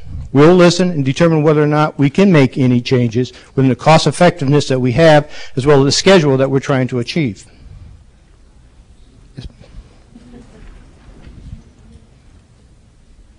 I was not on that committee uh, about which Peter Somssich spoke, so I really come here to speak not knowing many of the facts.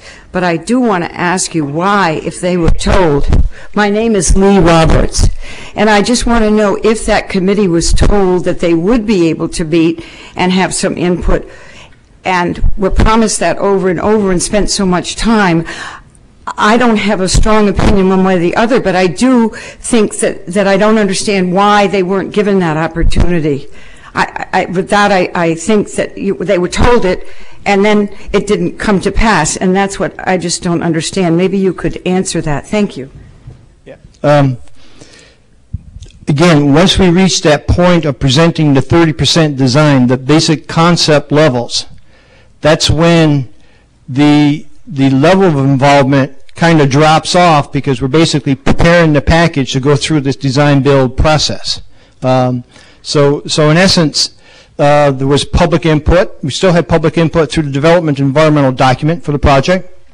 Uh, we had community input through that development and environmental document uh, basically indicating that we're going to be losing historic structure and how we're going to replace that structure back. We received substantial amount of feedback from the public, local public here, relative to that documentation. So yes, there was that process. Did we follow, follow a formal process with number of, of committees and, and, and community groups?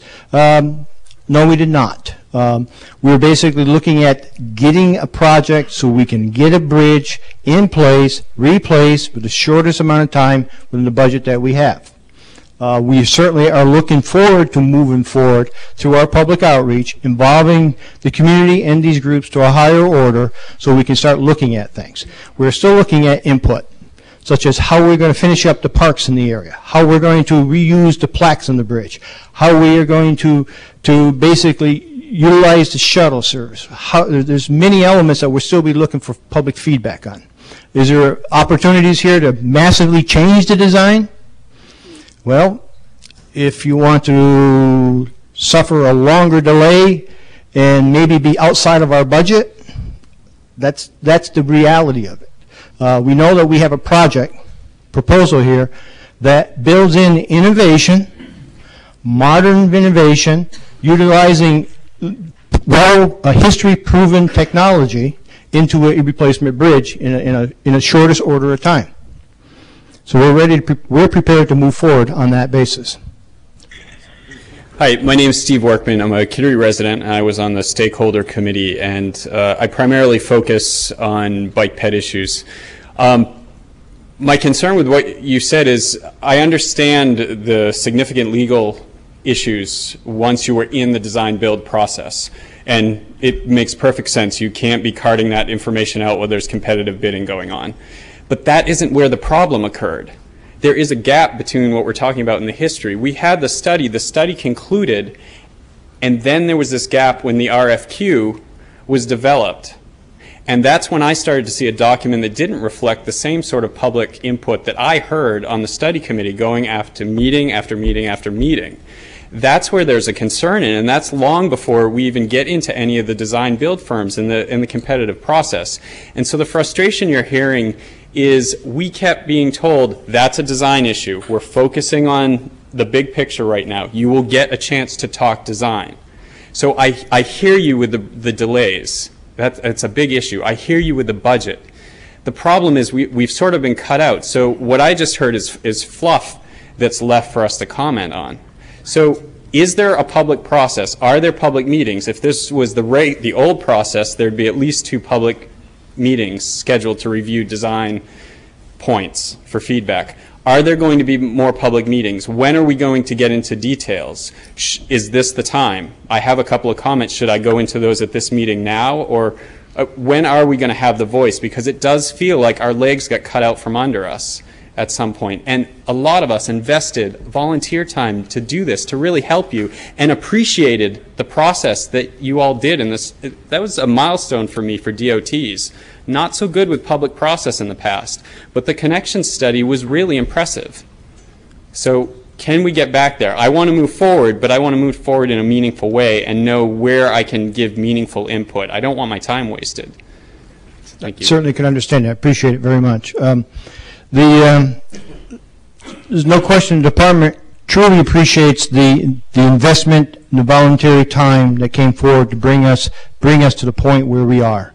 Connection study was a very valuable study that brought forward the, the specific objectives for, for the area. Um, we, we certainly still have opportunities for public input, public feedback. Design is in the process of being designed. We certainly will be coming back out to the community with the design and, and exploring the avenues that are, that are still available to us.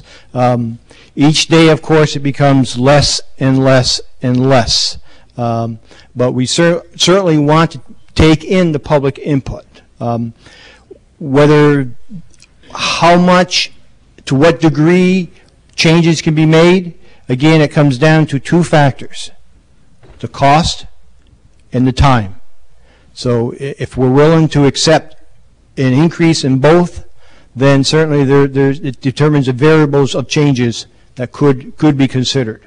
Um, but certainly, we're willing to have that discussion. Uh, we certainly will be willing to come back out to the community and meet with the, meet with the uh, committee groups and, and, and dialogue. Um, but again, we want to look at the objectives and the mission that we have here. We want to, we want to replace a bridge in a timely basis within a budget that basically we can be proud with, proud of. Um, and certainly that's the, our objectives. Sir. Hello, Mark Stedman, resident of Portsmouth. Um, I have a question. The old bridge took a certain amount of time to raise and lower. Will the new design reduce the amount of time that it takes to go up and down? The new design, because of the, the way it's being designed, uh, as well as the mechanic components of it, uh, will certainly will be able to be raised and lower in a shorter amount of time. Do you have any Uh, uh, Now, whether or not numbers? that means it's going to be less the time for closure really is depends upon the navigable channel, how, when the ship's coming through, and you have to close the bridge for the ships to come through and open up and then close. But for a a relatively short opening enclosures, it'd be a a lot faster. Okay, my Um, second, my, uh, okay, I'll, I'll let him finish if he's got some more info. I'd say it's maybe 25% faster. It's quite a bit faster. Okay, and uh second question, um, I don't see any um, shots of the bridge design at night. Lighting design could be a very, aside from the navigational and required lighting, lighting design could be a very effective way and cheap way of um, softening the design, at least at night. And has that uh, been considered? Yeah, I mean, uh, uh, certainly uh, many of the bridges that I've designed are, are feature, what you'd say is feature lighted. Uh, and I think lighting is really a component that is, is certainly worthy of discussion. And I think that's an, it, there is a unique opportunity, particularly, I don't know if you're familiar with uplighting. The uplighting of the, of the George Washington Bridge is, is uh, absolutely phenomenal. Uh, it's not something they do all the time, but it's but uplighting the towers, I think, offers a good possibility. I think I really think we need to have a discussion about the roadway lighting too. There's the idea of historic uh, uh, fixtures that are on the old bridge that probably don't make so much sense on a bridge that looks like this. And so, uh, I think there's a lot to be said for. And re- remember that some of what drives the schedule is is um, is really the, uh, what I would call the primary components of the structure: the mechanical system, the structural system. Uh, some of these other elements are really not as schedule critical, and I think are are more. There's more of an opportunity. I think. Look, our, our goal is to be as open uh, and direct with you as we can be about what's in the mix and what doesn't have, let's say, schedule impacts. Uh, and I would say lighting does not. Yeah, so I think that's something that we certainly could talk about. Yeah, I'd recommend that you work with that committee that was up here before to Sure. Yeah, yeah. seriously get some lighting designers or people that know how to do Oh yeah, this yeah. I mean, we we've to uh, fit into the community. You know the Yeah, yeah, sure, schemes. sure, sure. Yeah, w- Okay. we've we've uh, done some fairly spectacular. Uh, I mean, lighting on all projects all over the United States. So Okay, yeah. thank you. Sure. My name is Gerald Duffy. I've been a Portsmouth resident for uh, about 25 years, and I absolutely love this place. Um, the uh, I think the thing that some of us are missing, you you pointed out in your really terrific presentation, especially your presentation uh, in terms of your rationale for the design, and everything. When you showed the La- Lake Champlain project, uh, my pulse increased a little bit. Because in that when you and uh, this, I've just seen the pictures right? I haven't seen the bridge. But in that uh, project you clearly transformed what was a historic bridge with respect for the, the, the historic structure but you transformed it into something that looks contemporary that really is at home in the 21st century and I think that's what a lot of us in Portsmouth were hoping for here. And I fully understand, given the, given the restrictions of having to work with a centre lift and the existing piers the, and the truss structure, that you're working under constraints. But I think that's the missing piece for me, is that you, there's an opportunity here to build something. This is one of the uh, most stunning river approaches to any city in New England and, be, and beyond. It's, it's a, an incredible space that we have here. And we have tremendous civic pride in this town because of our historic architecture. So this is kind of a, a sacred space, if you like, into which we're putting this replacement bridge. So I think that um, what I certainly am missing, um, I mean, a lot of what I'm seeing today, I, I love the openness that you've achieved here. It's different because of the, the, the different structure, taking that, that structure to the outside. Um, I love that. I love to see bicycles, you know, being able to cross over, you know, safely. Um, but I think we're, we're in danger here of really missing a once in a lifetime opportunity, well, once in maybe three generations opportunity to, to have, um, to make a statement uh, with a forward-looking structure that is somehow contemporary. So I was wondering, for instance, if you had considered, um, given the constraints, whether you considered using tubular steel or something that would give this bridge um, a more modern, contemporary feel.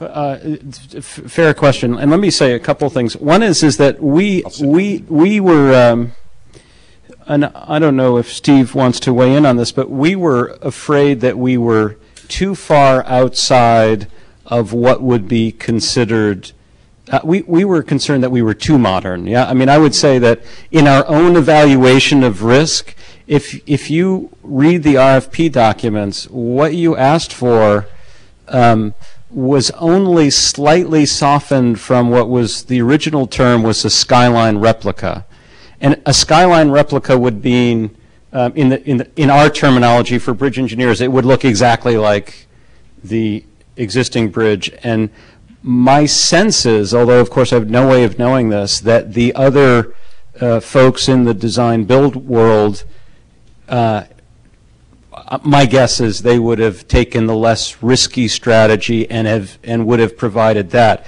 We'll know, I, I uh, suppose, when the project's awarded, what what else was proposed.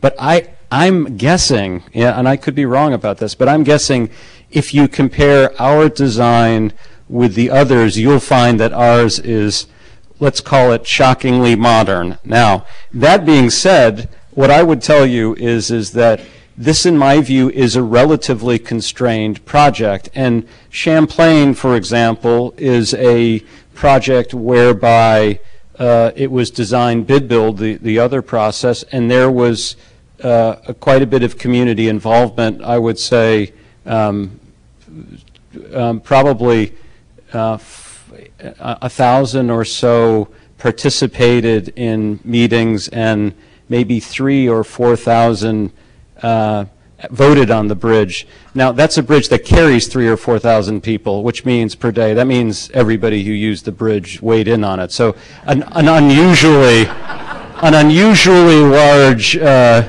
uh, let's say, so I'm very used to the sensitivity of doing something in someone's backyard, and Champlain's a perfect example. One thing that I would say is, is that, and this is important, is, is that movable bridges are the most constrained types of systems, and they are also, most movable bridges are, uh, how would you say, they look like they were brand new movable bridges look like they're 100 years old. There's been very little evolution of that technology. So to a bridge engineer, for me it's funny to, to hear this because for a bridge engineer, proposing this, most of my colleagues would say, are you out of your mind? Yeah, no DOT is going to accept that. This is too racy. Now, I can tell you from the perspective of it's still a truss, yeah? And one of the things, and I, and I have to say this, is that my, I teach at a couple universities, and um, my courses are often termed the demonization of the truss. Yeah, I'm someone who tells people routinely we should not be designing trusses anymore. Um, so I, I'm, I would say I'm a little, quite honestly, a little conflicted about truss design. And, I'm, and, and I would also say I'm very conflicted about this, about the idea that the tower is also a truss. This is sort of imagining the truss in every way and every component. Now, it used to be the way to, to design movable bridges to keep things both light and when labor wasn't a significant part of the cost. Now labor is an enormous part of the cost. And so much of what we've done here is to focus labor in a way that gets us to, uh, really, my, emphasis was on safety. Um, most people, most DOTs hate trusses, and I'm sure this is the case with Sarah Mildred Long, is, is that they are become maintenance nightmares. So from the DOT's perspective, I'm sure some of our technical marks were solving some of the problems that they've been burdened with for the past 50 years of fixing these old trusses. That really was our focus. So it was time, it was making these much less, let's say, vulnerable structures, much safer structures, and also making them much less maintenance. What I would say is, in terms of the visual aspect of things, I'm expecting that when you see the other competitors' entries, you will see the old bridge. Now, what's interesting is, and, and, and I think it was Lisa who presented something that was really trying to echo the old bridge. So there's, this is also that moment where I think for Champlain, it's that moment of letting go to something new and also wanting some remnant of what of what was. And you know, we've done the, maybe the most modern movable vertical lift bridge that we've we've done is the one in Chelsea Street in Boston. And I don't have an image of it, but it's that one's I would say is racy uh, it, but still has components of a truss. These bridges, as a, a measure, if I mean, if we were, if I were to tell you that what would we do completely differently here as a as a sort of Lake Champlain moment, it would not be a truss tower, and it would very likely not be a truss. I can tell you, if you read the RFP documents, they weren't the options. Yeah, so we we really um, also are in a way, this environmental process, which I think serves its serves uh, its purpose well, but in some cases gets maybe doesn't seem quite as open is, is that when you're replacing an important historic structure, there are many circumstances where there's a tendency towards preservation, right? We're, we're trying to preserve not only the character, but some of the ideas of the bridge in the past. And this is something also that's, quite frankly, is difficult for us to navigate too, is we're trying to pull from the, from, from really Waddell's important work, but also reimagine it. And I, I, I got to tell you, you know, it's not, I'm used to designing things that are, have a, a, a bit of a different character, and movable bridges are, are truly the most constrained of, of uh, structural systems.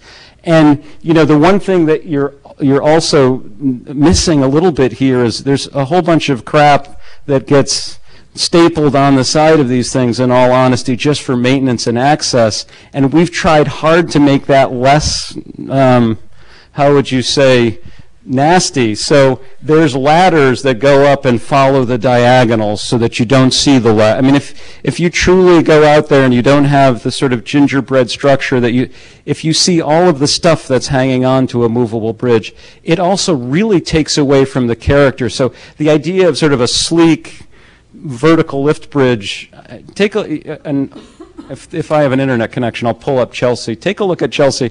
That's about the that's about as racy as movable bridges get. And, you know, we had some racier ideas, to be perfectly honest. We were fairly far outside the lines. We had some stuff shot down.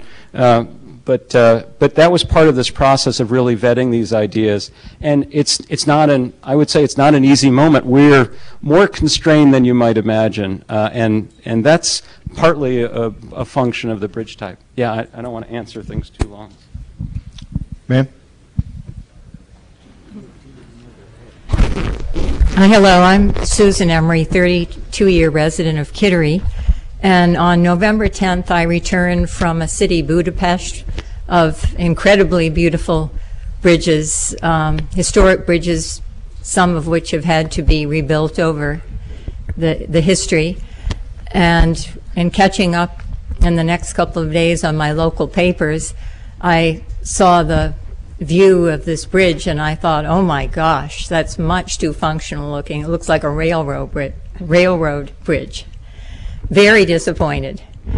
Um, then I did read a letter to the editor of someone suggesting that maybe it could be softened with um, cables, something like what Lisa DeStefano just presented. And I think that minimally, that at least gives it a softer, more aesthetically pleasing look. I did see her suggestion that was being passed around. So I would um, encourage you to, to consider that as a minimal improvement. You know, cables that are not necessarily functional, but just aesthetically improve it. To me, it's just too plain. It, it just doesn't we will be living with this for a long, long time. I do appreciate the business needs on both sides of the river and probably especially, you know, Kittery. But it seems at least doing something like that would help. Uh, and then the illumination idea.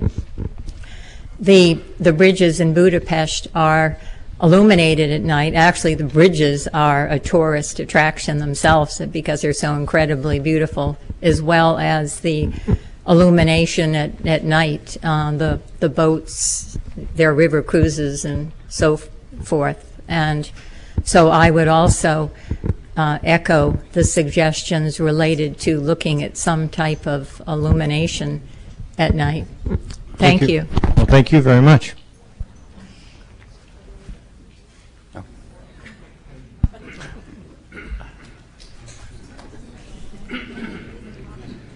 Yeah, hi, I'm David, David Virtue. I live in Kittery Point, Maine. Um, I wrote a letter to the, in the paper alluding to what I wanted to ask, a pretty specific question um, as far as engineering. Uh, I guess you're hearing a lot of the, what does it take to turn this from a railroad bridge to something we can really somewhat more enjoy, uh, rejoice in? And my question would be, with computer graphics and CGI and all, all that's available, if those, if that top arch, uh, the top part of the span is curved, maybe a few feet in the center, just enough each one to, to again echo some, uh, something of the old bridge, I, I can't but not feel, I mean, I really, really appreciate the innovation, the non-gussets. Uh, I'm, I'm, I've come away much more positive than I felt before this meeting because we've all seen the tiny little sketch in the Portsmouth Herald and said, but in the design phase, if that's curved with a computer with computer, I can't see that that can make up a huge amount of time difference, maybe a little material. But I want to, you know, specifically, can that be done and and uh, at a reasonable cost? To, you know, I won't go on any further, but uh, it's a specific question, I guess I'm asking. Yes, and, and the answer is it certainly can be looked at and, and reviewed. Um, to what degree, I think we're, we're hearing from the community what the community's desire is uh, at this point, and certainly we understand that. And uh, given the constraints that we have, given the constraints we have, we, we certainly be reviewing that with our with our design build team. One of the primary benefits, and one of, excuse me, one, one of the reasons why we were able to be five months faster than our competition was the way Ted designed this, and particularly uh, with our interaction with our fabricator.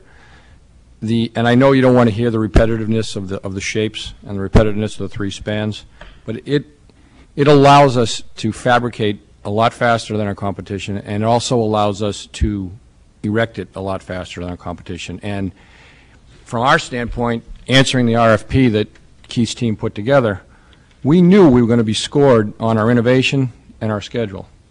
So that's what we, you know, through, through Ted's innovation, that's what we strove to meet.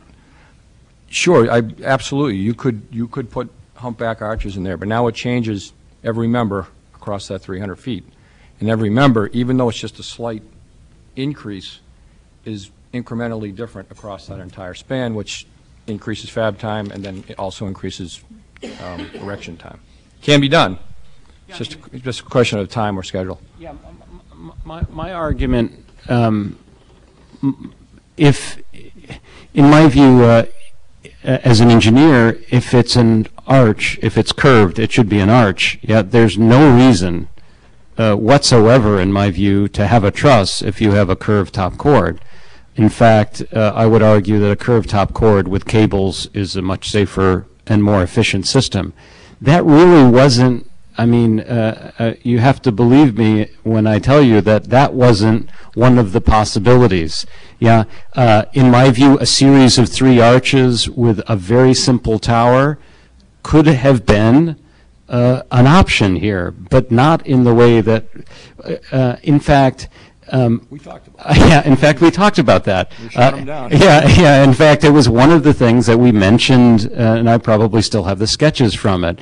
That would be the outside of what would have been considered responsive. In fact, I think it would be fair to say it would have been considered uh, non-responsive as a as a measure of something truly, you know, what I would say is innovative, as game-changing with vertical lifts, that would have been it. Uh, but it would be, it would not stand the test of visually similar at all. It would stand the test of visually um, impossibly different. Yeah, and so that that's we were there. I mean, I, I can tell you that arguably that would have saved money. I hate to say that. Arguably, it would have saved money.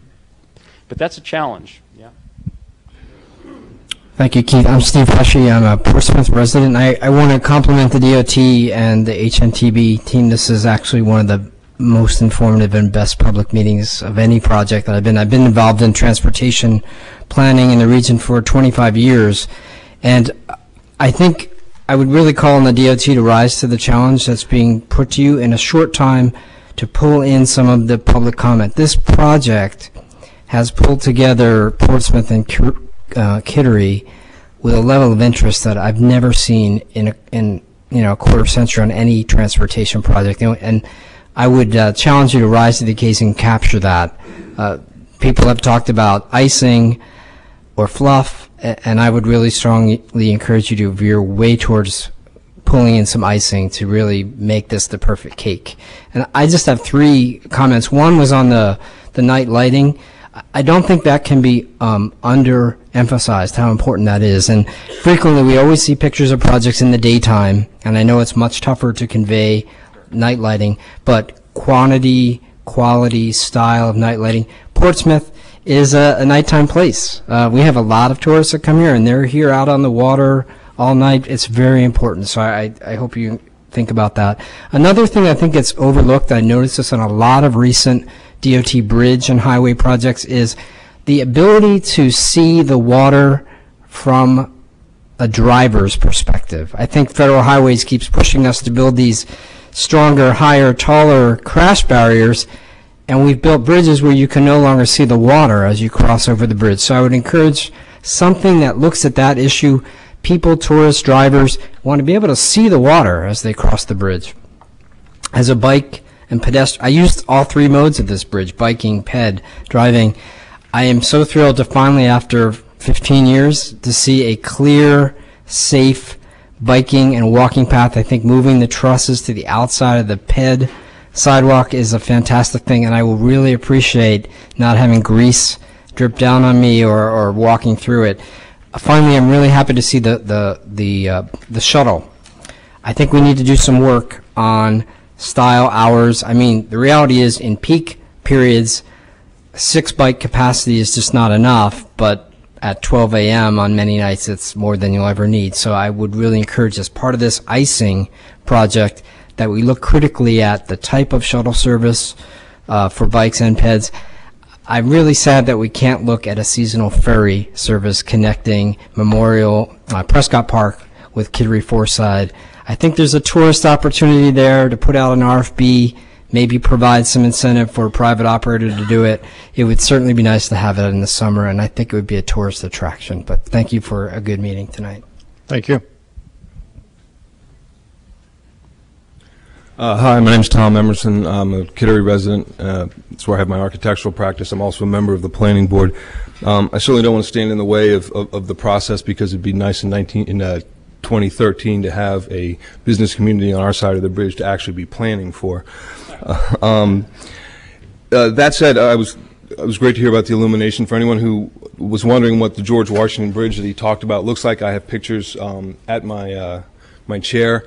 Um, You got to remember, though, the towers here are going to be taller than the spire of the North Church. So you got to be a little bit careful about height and, and, and, and illumination. The other thing about seeing the water, the bike lane is that wide. Tourists from Sheboygan looking at the water are going to take out some folks. So just a little bit of planning there. Um, aside from the George Washington Bridge, um, the Golden Gate Bridge is an incredibly beautiful bridge, but it's made absolutely spectacular by the fact that th- the color that it is. You know, standard green, maybe not. That's not going to add any change to make make it unique in terms of its color. I think that needs to be something uh, that we should look at. The other thing is, um, I don't know if you're familiar with the Troll Bridge in Seattle. Uh, for those of you who aren't, uh, organization called Jersey Devil created a, a piece of public art where there was a troll eating a full-size Volkswagen Beetle. I think there are opportunities for public art here. Again, that may not be super expensive to do. Again, I'm trying to get to, to something that makes this bridge unique without adding money or time frame. Thanks. Thank you, Tim. Hi, I'm David Siegel, uh, Portsmouth resident, since 1973. I uh, just got a couple issues. Uh, it's definitely informative. You know, uh, you guys keep throwing out words like innovation and and uh, quick timetable. I, I prefer to f- refer to it as innovative time s- scheduling. You know, uh, is a fast bridge. You know, that's a fast bridge. I've worked on a couple of them. That's a fast bridge. You got current issues here. I know, you know, a lot of it is float, float in. Uh, I don't, probably don't have to tell you. You know, uh, you've got more than the, uh, sturgeon. You know, just last spring, there's a bridge right up the road here going on. Just last spring, uh, American Shad, I think, put a, you know, crimp into them. Um, those 7 a.m. to 7 p.m. schedules, from what I, what I read in the paper, were thrown out the window. Uh, six, seven days a week, you know, nonstop almost, uh, due to things like fish, weather, you know, and you guys are talking a trumped up timetable to begin with, without any room for delays. Um, also, as a Portsmouth resident and a Hampshire resident, uh, you know, Archer Western being from, from Chicago, is that what it is? You know, where's the uh, workforce coming from? I know you, when I saw that one little small line dedicated to that, um, Yeah. yeah. No, our, our intention, we, we've met with representatives of labor already. Our intention, and we, we actually just hired a superintendent who lives in Freeport, Maine, who's just came on board. Um, we will open opportunities to all local residents. I mean, we have to keep in mind, um, people's qualifications, but we will more than likely either have a job fair, there'll certainly be a website that we're going to set up that will allow people to forward work history or resumes inquiring about work. Um, We are not going to come in like paratroopers with 100 guys from Chicago and build a bridge and not invite anybody to be part of our team. That's not the way we operate. Um, We've subbed out the demolition to a, a team from Massachusetts. Um, We, the steel is being fabricated up in Claremont, New Hampshire at Structal, and we have every intention to um, reach out to the local community and offer positions that are, that may be available to you. Now you say you're not going to come in with, you know, droves of men. Does that? Yeah. Now, you and I might have two different ideas what Yeah. those are. You know, hiring uh, out of 50 bridge workers on this uh, 50 total. You know, bringing five local guys is not. No, that's uh, not putting the New Hampshire money back into the New Hampshire economy. And I understand that. And, you know, we, you know, again, you know, superintendent from Maine, um, will have key people, supervisory people that are within the company. We still have a few positions open that we could, we could offer. Um, but as far as the labor force goes, our intention is to hire local labor. Uh, we will have a few key foremen that travel with us, but I'm not going to tell you that it's going to be five percent of the workforce will be local. It's not going to be like that. More so than uh, the job at the University of Iowa. That Yeah, I, it's funny because I got a phone call about that job. Now, we're, It's- we're a big it- company. it's in and- the paper, you know, No, I it's know, in it's in the paper, and I had, I actually had to check my own company's website to find out about it, so, um, I can tell you that I've never worked in Iowa. Well, Uh, it's and the not till you company, the listen to company is a large company. company. Yeah. Um, and we don't run this region that way. Uh, we are building a $420 million bridge down in, uh, New Haven, Connecticut, and we've reached out to the local community there, and we've hired a lot of local labor in that project, and, uh, we intend to do the same here. All right, my concern is that is y- your parent company that did Mhm. that Yes. in, in Iowa, and if and if they're leading the way, the, you know, what is that? How much room does that leave you as as project manager, I, I, they will, um, I have all the responsibility, so, you know, good or bad. All right, thank you. So at twenty-five thousand dollars a day, there'll, there'll be no, Sure enough. Chicago will be calling my phone. All right, Okay? thank you.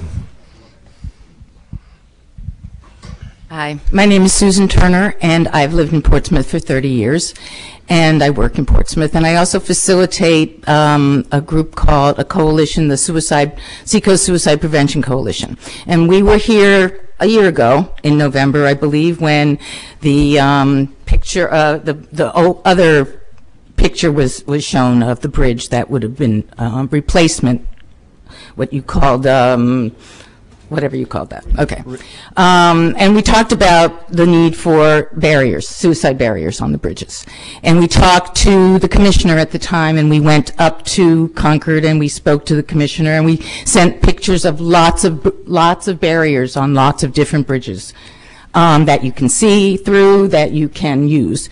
And with you pushing out the, the rafters that way, whatever, trusses that way, that could be raised up another six feet and make a suicide barrier.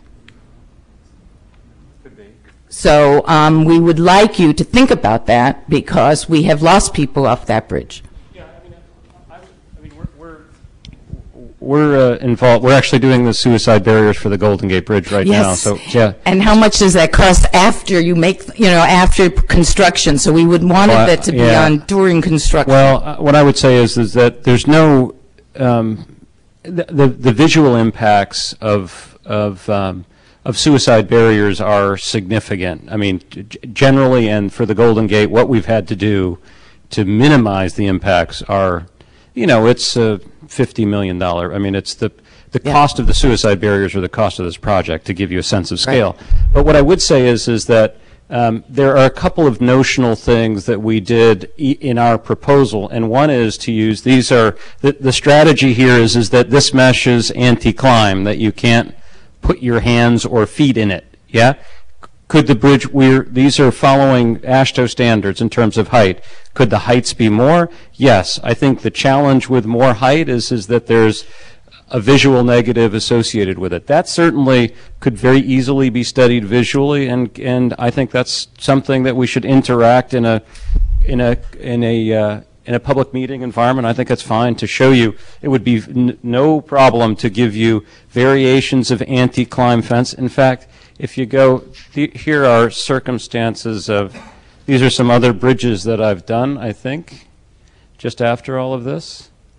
Um, uh, This is one that has a tall barrier, yeah? So this is one with, Yeah. one with, a- this is over an interstate highway, and that has an eight-foot barrier where it, it, it leaves some transparency by virtue of not having any banding across the top. Some of these could be evaluated, yeah, I think that's you. possible. I would, we would very much appreciate that. It's not pretty to have people floating down the river. Yeah, I think, I think this is another, I don't know if you can see that very well. This is a, another mesh that tries to be as transparent as possible. What I would tell you is, is that doesn't, it doesn't have the same sense of, uh, it's very open, but it also isn't as, as, um, how would you say, it doesn't give you the same sense of safety that you might feel over, this happens to be more over land than over water, so I think there are other aspects. We'd appreciate you looking at that. Yeah, fine. My name's Joey Benson Maloof. I'm a Portsmouth um, resident, and I'm uh, an engineer at the shipyard. I commute daily over the bridge via bicycle. And so I'm just a a couple of comments or questions to you about uh, cyclists and how you've addressed them. Um, The bicycle lane, I understand, is about five foot, five feet wide, right? That's the minimum. Uh, I guess that's the minimum. You went for the minimum. And um, Three foot five. Okay, well, you know very well that would be very unsafe if you, if you're a cyclist. So five foot is what it is, and can you convince me that that's, um, you can control, control the speed of cars, and that as a cyclist, I'm safe on that? Because I'm telling you, at the, the old, the old bridge, cars were going 40, 45 miles an hour, and it wasn't nearly as nice and smooth as that is, or as wide. So that's, Right, so that's the first question. Convince me that a cyclist is going to be safe and you're controlling the speed. And the second is um, with the shuttle, you're pretty much going to kill cyclist traffic in the year and a half because, um, first of all, using um, the old numbers, 900 was the count two years ago. I believe you did a count uh, early September, it was 1,500. Two-thirds of that was pedestrians. That's in a 24 24-hour period. Two-thirds of that was pedestrians, one-third was cyclists. So, so, you know, let's let's get the numbers straight of what, you know, how many are actually traveling in 24 hours.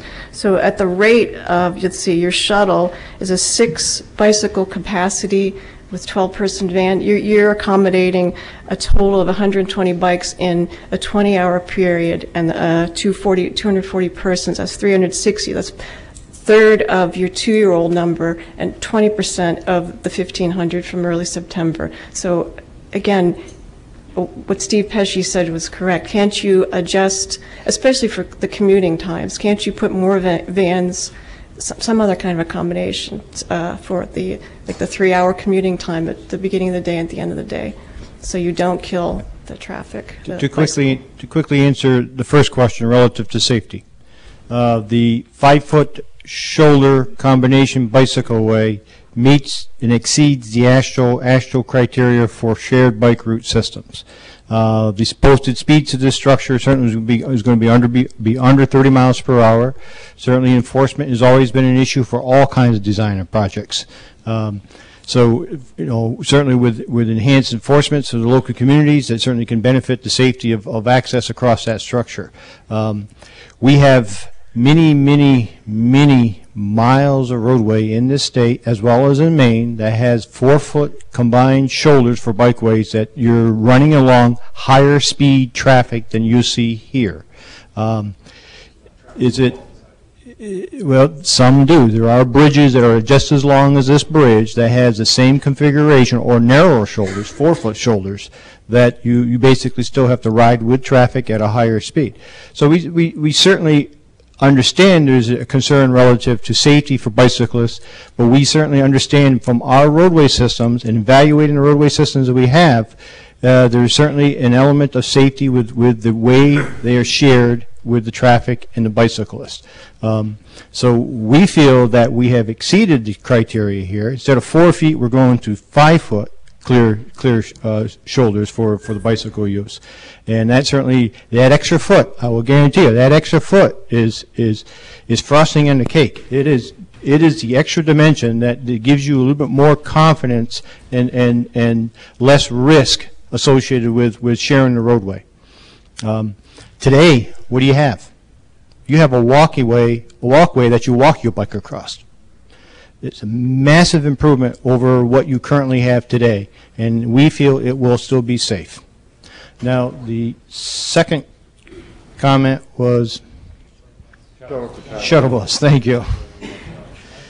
We uh, we understand what the traffic or the pedestrian bicycle load has been on that bridge. When we closed the bridge for vehicle traffic, we did see an increase in, in walking as well as bicycles across the bridge. I had expected that because people are basically in the summertime certainly willing to to instead of taking their car to where they normally would go, get on a bike or walk to where they got to go. Uh, but at the same time, you also have to keep in mind that volume of pedestrians and bicycles wasn't solely for just just going back and forth to work either. It was a lot of recreational use. There's people going in the park area, in the city area, as Badger Island, uh, having a meal at a restaurant, whatever, deciding to go out and take a walk across the bridge, take some pictures, take a walk back through. So there's a substantial uh, volume of that traffic is associated with the recreational effects of the location of the bridge. When you factor that all out, okay, and you get down to what, what you would anticipate the, the community cross needs are for the actual, actual bicycle commuter type traffic is substantially lower. We feel that, that the, the system that we've asked to be in place will look to accommodate that demand that we have. There's no question that people is going to have an issue with every hour cycle. What are they going to do? They're either going to wait or they're going to get in a car, carpool, or do some other alternative transportation methods. So how is it going to really uh, end up? That's something that we're going to monitor. We're going to start out with a process. We're going to monitor the effectiveness of that process. And if we need to change that, that process in order to address particular needs and during, during certain hours, we certainly will be working with Archer Western in order to impose an, an increased service in order to handle the demand. So we, we basically are starting out. Let's find out what we have out there. I can guarantee you it's not going to be 900 every day going across that's going to use a shuttle. It's going to be something substantially less than that. But what is that magical number? We're going to find that out. Sir? My name is Richard Katz. I live at 59 Kensington Road. First of all, I'd like to commend you for the manner in which you've interacted with the people who have come here and voiced their uh, comments, particularly the nuts and bolts things, that practical considerations. Uh, what I'm less impressed with is so much subjective aesthetic judgment that seems to be playing a part in this particular process. Um, Sullivan said, form always follows function. And what we have here is a bridge that's never going to soar because it's a machine. It's got to move up and down. So there are certain constricts that you can't avoid.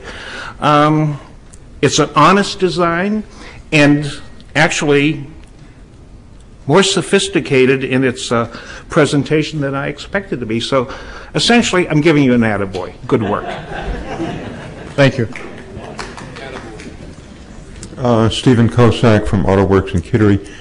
I just wanted to restate uh, some comments that I made this morning, particularly to Maine DOT and with regards to the shuttle system that you proposed and echoing uh, the previous speaker's comments about this being substantially lower capacity, I realize that cyclists are probably not going to use the bridge in with as much volume in February as they will once we get into April and May.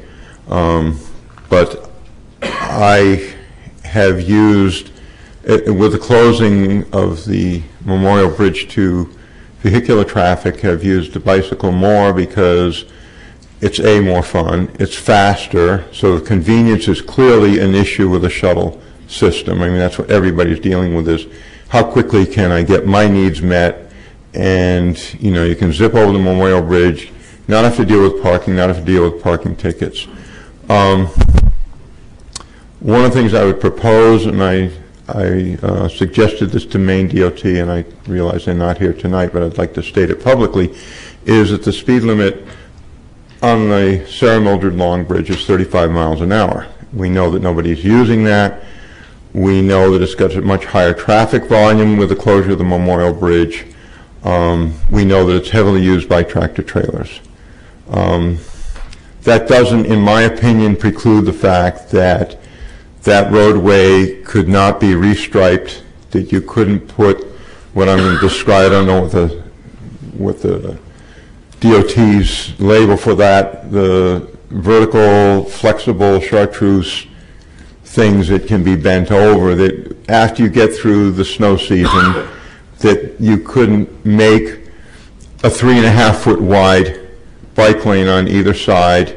Um, there's at certain times of the day, the, the Sarah Mildred Long Bridge traffic is backed up because of the traffic light on the Albacore Park side.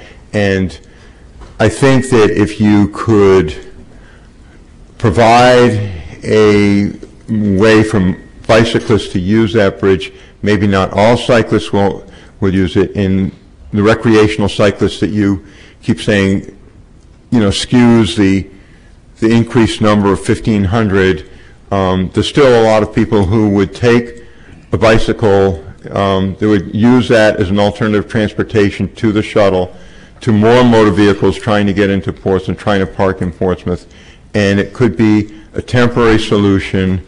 Um, and the speed limits could be enforced.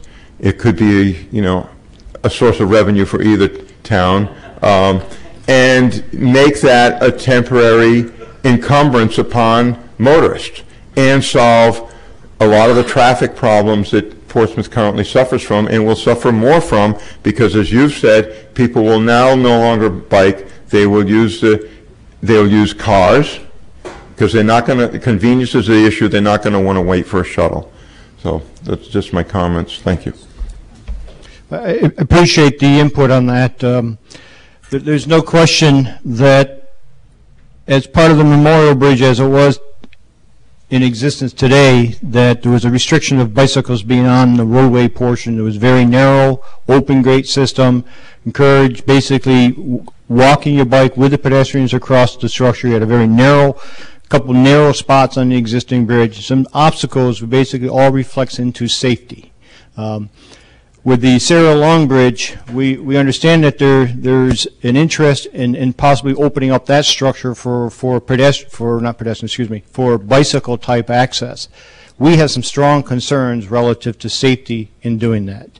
Again, you have a very narrow narrow roadway narrow bridge section.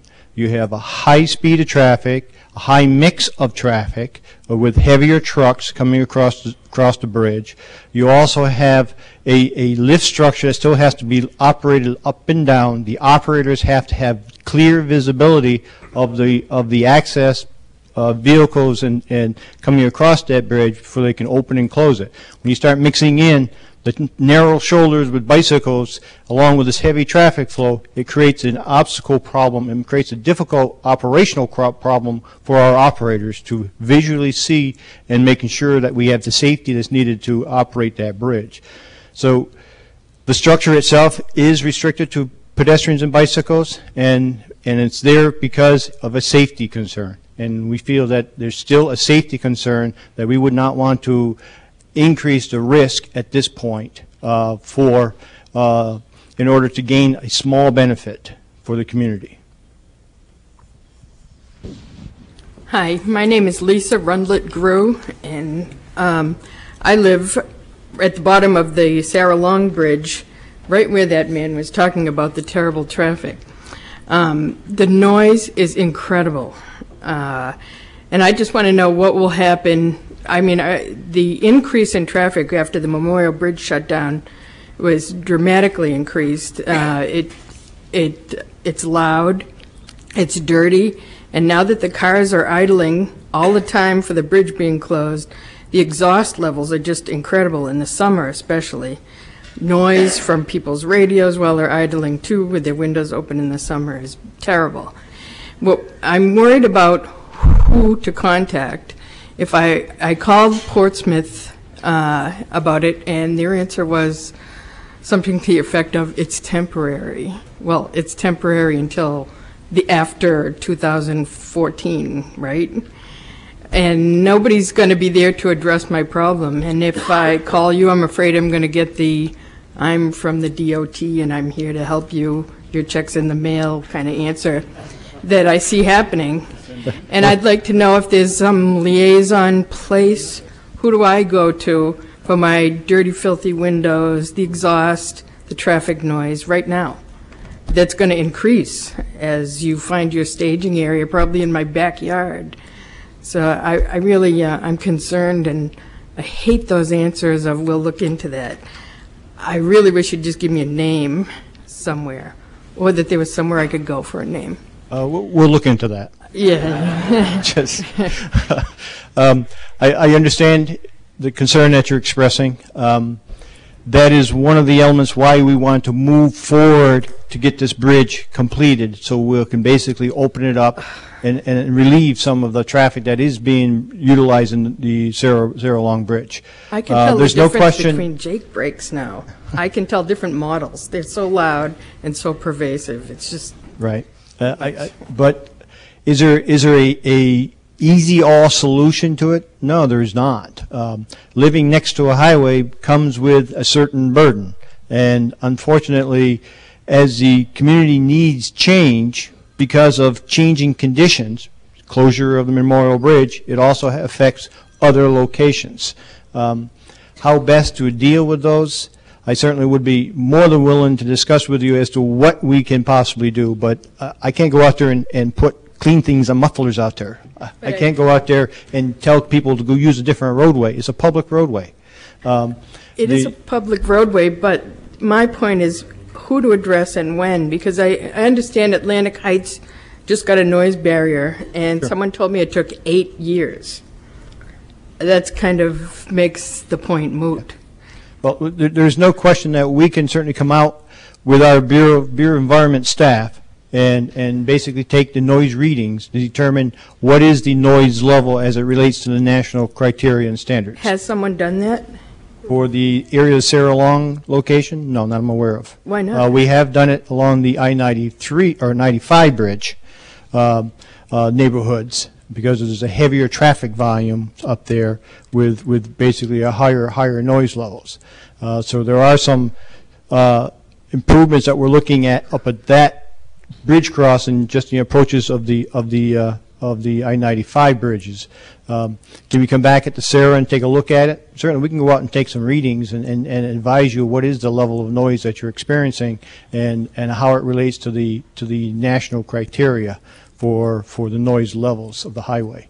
Um, Beyond that, of, of implementing measures to, to reduce noise and so on, there's a specific criteria we have, we as New Hampshire DOT, we have a policy as to that process. We can explain that process for you, explain whether or not you meet that process, and as we look at the, at the, uh, the area as to whether there's any opportunities for, for, for some type of consideration.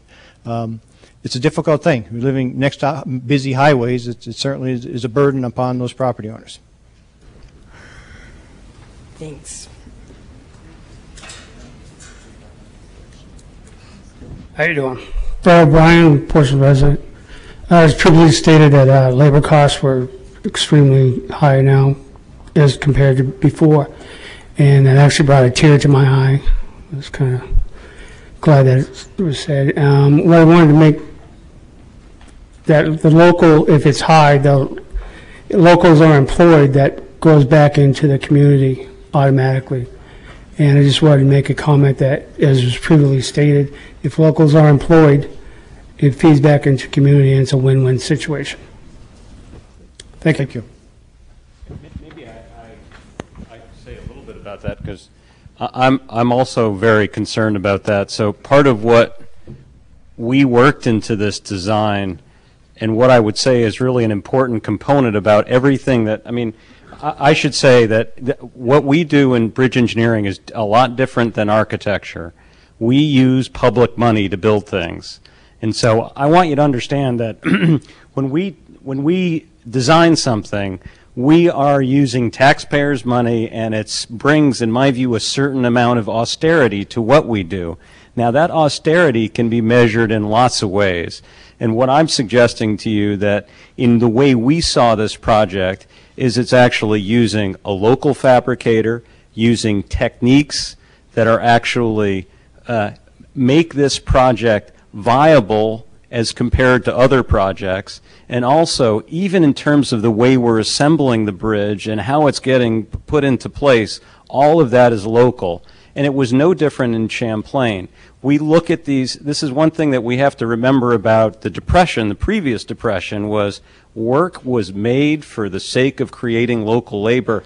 And these projects, the way I look at it, are no different. They are taxpayers' money, both local and federal, and they really should be using local labor. And so when we look at the techniques, and this is my own sensibility about things, when we look at techniques for erection, yeah, when I say things are labor intensive, I also need to beat the guy next to me, otherwise I don't get to do the job. So I have to maximize that use of labor. And for me, in these circumstances, there's actually a good labor force here, and the labor force is low cost. And in my view, actually, a lot of what we can do in terms of this design is build it locally. So that means that the work that will happen in the in the construction of the truss, there's many circumstances where this truss could have been built somewhere else. Yeah, this truss will actually be erected on site. Yeah, very near the site. What are we talking about? Less than yeah, less than a mile away. So this really, it, in that sensibility, uh, you know, I, I, I take that stuff to heart. So, you know, I, I just want you to know that. Hi, my name is Terrence Parker. I uh, represent the Eastern Trail Management District. I also live in South Berwick and work in Portsmouth every day. I'm a bicycle commuter. Um, I think, Ted, you did a good job with the design and the presentation. Um, I would like to note that um, uh, the, the connection study ended with an alternative of a 10-foot sidewalk, whereas the RFP only had a six-foot wide sidewalk. Um, which is very close to what it is now. And given that the, the original bridge was designed in 1923, we're not really planning for an increased population count across the bridge. And I think we're missing an opportunity here, and someone mentioned it earlier, that this bridge is probably going to be a destination point because it's one of the best views on the seacoast. And I think we're really creating a bottleneck. Uh, we're creating a bottleneck on the sidewalk in particular. Um, and I gather, I gather that uh, the, this, the RFP narrowed it for cost purposes, and you threw out the 10-foot wide uh, sidewalk opportunity. Should I wait for Ted to No, the, um, Uh, I want, the RFP process is certainly something that we set as part of the project. so the 10-foot sidewalk is gone, The correct? 10-foot sidewalk um, does have a factor on cost. Okay. So we had a budget. We certainly need to maintain a budget. We have, again, two sidewalks on both sides of the Yeah. roadway, which will not be conflicting with the bicycle traffic that currently has. I So you have that. I just increased wanted, I capacity. just wanted to hear that. So, given that most new bridges, the ones in Portland, Oregon, and uh, I think uh, Charleston, or was it Charlotte, North Carolina, they have quite expanded sidewalks, and they're creating this, this really great opportunity to unite the two communities with an active bike ped uh, connection. And that means money as well, because people want to move across a beautiful landscape. Uh, And I would only reference the, the new High Line in, uh, on the west side of Manhattan as a pedestrian, it's become this pedestrian promenade. If I was out there a week ago, it's just, right. And I'm not comparing this to the High Line, but I think there's a good analogy that this could actually be a pedestrian and bike promenade, which would create a, a great piece of vitality for the two communities. So I know you're, you're ruling out the 10-foot sidewalk, but if you look at this diagram right here, you have the sidewalk on the inside of the, uh, the, the, the fence on the inside of the truss. And I'm, I'm saying you, you I would, I would ask you to consider moving the fence to the outside of the truss, give a people, give the pedestrians a chance to get out of the flow of traffic, because it's, you can imagine a double baby stroller going in each way and you have a roadblock. Where if you move the fence to the outside of the truss, you're actu- you actually create these little niches, these nooks for people to get out of the flow of traffic, hang out, appreciate the views, and it just facilitates circulation, because, I mean, this bridge is going to be 75, 100 years, and we really ought to plan for a more uh, vibrant pedestrian and bicycle connection on the sidewalks, because not everybody wants to be squeezed in between cars, uh, landscape vehicles with hoses flying around, and a fixed object like that, uh, like the uh, guardrail there. So I really would encourage you to consider expanding uh, the deck in between the trusses along every truss so you have these little bump outs because as you know now the minute um, the minute porta johns get put on that sidewalk you have another um, you know you have bottle, bottlenecks uh, There won't be any porta johns put on okay that that's a sidewalk. good I'm, I'm glad to hear that because with a narrow side lo- sidewalk If like you that look at one of the pictures, you'll actually see that the gate tender's house is extended outside of that.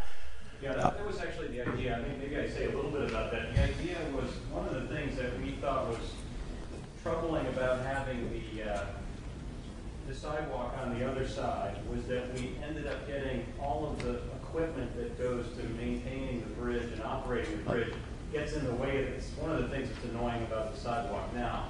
So by moving the truss to the outside, all of that crap, if you will, like the gates and Mm. it happens on the outside, so it doesn't really interfere with the sidewalk. But I, I would say it's possible, on this bridge, I don't have a good, I don't have a good image of it, but this bridge has like a bump out, it's sometimes called a belvedere, right at midspan.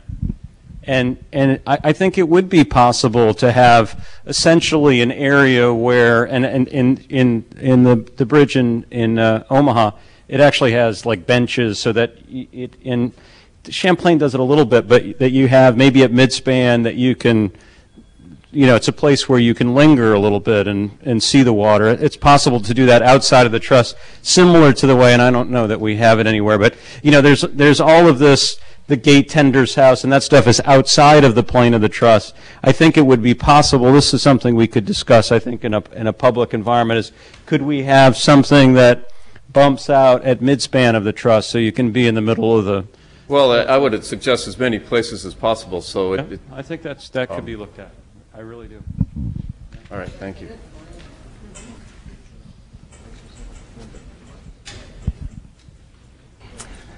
Okay, Okay, good good evening, gentlemen. I'm Dave Top, I'm from Salem, New Hampshire. I'm over here representing the Bike Walk Alliance of New Hampshire, which is the only statewide bicycle pedestrian advocacy group. And I'll also say I spent a fair amount of time at DOT, so I see quite a few familiar faces here in the audience this evening. Uh, ongoing topic, I've been biking the Seacoast route for like 40-some years. I'm also the general coordinator for something called the Seacoast Century, where this past September, we had 1,600 bicyclists going over this bridge inside of two days, Saturday and Sunday. I've read the specs. I know the width of the road, here, the lanes that you've uh, spec'd out here, the 5, 11, 11, 5. The shuttle, which would carry 12 people and, you know, six bikes every hour. So, and also I heard some preliminary discussion, I believe there was a meeting earlier today, talking about the Sarah Long Bridge and, and the little comment about the night not being particularly the safest access. I would also like to point out that another aspect of mine in the background is I actually teach vehicular cycling using bicyclists on the road through the League of American Bicyclists. I was certified instructor since 1980 on that. Many of our roadways here in the state of New Hampshire are like 24, 26 feet wide, grand total. We're lucky if on those roads we have one foot of pavement between the so-called fog line and the, the broken down edge of the road. When traffic is fairly heavy on that road, people wait up a little bit, you move over, and we get by with like 26 feet. The Sarah Long Bridge is 30 feet curb to curb.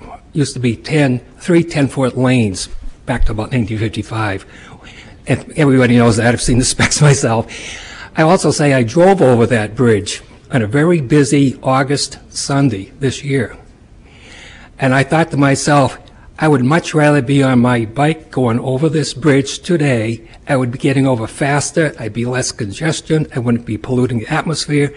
I'd be getting my exercise. I'd veer off into Albacore, hit the first exit on the Maine side, and I wouldn't be in the way of any motorists in any of the, the problematic areas like the famous Portsmouth Rotary over here. You wouldn't be hitting anything like that. So, bottom line, Again, with that bridge surface as it is now, the Sarah Long, which is all concrete, it's not metal deck like this current old memorial. And I understand the concerns of that, you know, what little bicycle wheels and wet steel decking definitely don't go together. But still, it comes down to the fact that if the Sarah Long Bridge were open to vehicular cyclists, not talking pedestrians, not talking mom and dad with the kids out in a trailer or something, but bicyclists who know what they're doing as vehicular cyclists, I maintained that even on that road with 30-foot total road width, striped approximately 4, 11, 11, 4, or even 5, 10, 10, 5, whatever, and an enforced speed limit of 35, which again in August, they weren't doing 15. So it, speed is typically not a major issue on that bridge with congestion that we do have.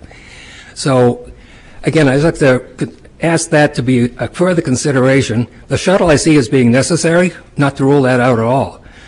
Though for the disabled, those who are not familiar with vehicular cycling and comfortable on it, pedestrians, you know, definitely that shuttle I think is required. No, no question in my mind all about that.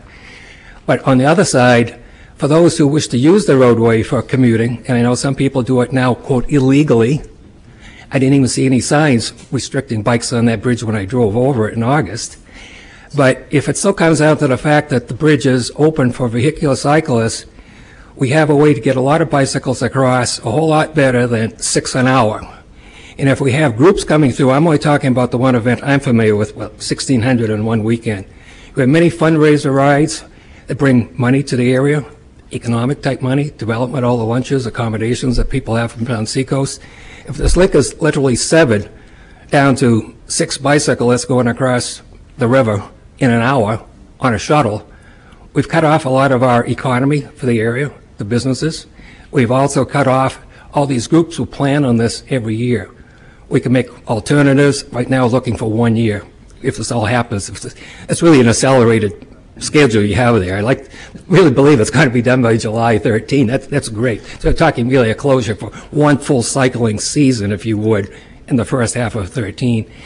But even so, the other aspect was, I think I heard it mentioned here this evening, if the uh, Sarah Long Bridge is absolutely off the table, no room for discussion on that for bicycle access, someone said something about a ferry, even a private ferry to go across, which again I think could be a tourist type attraction and something novel for one season to get a lot of bicyclists across between Portsmouth and Kittery, vice versa. Let them run that shuttle, a ferry, every half hour and get hundreds of bicyclists on it versus uh, six an hour on a shuttle service. So I just like to put those ideas on the table. I'm open for discussions offline with you folks or, or contacts here in DOT. And I just appreciate your time and consideration along the way on that. Thank you. Thank you. Hello, Mark Stetner again. Um, I got some comments about the illumination, and I'd like to request that you come back at some point for another meeting like we're having now.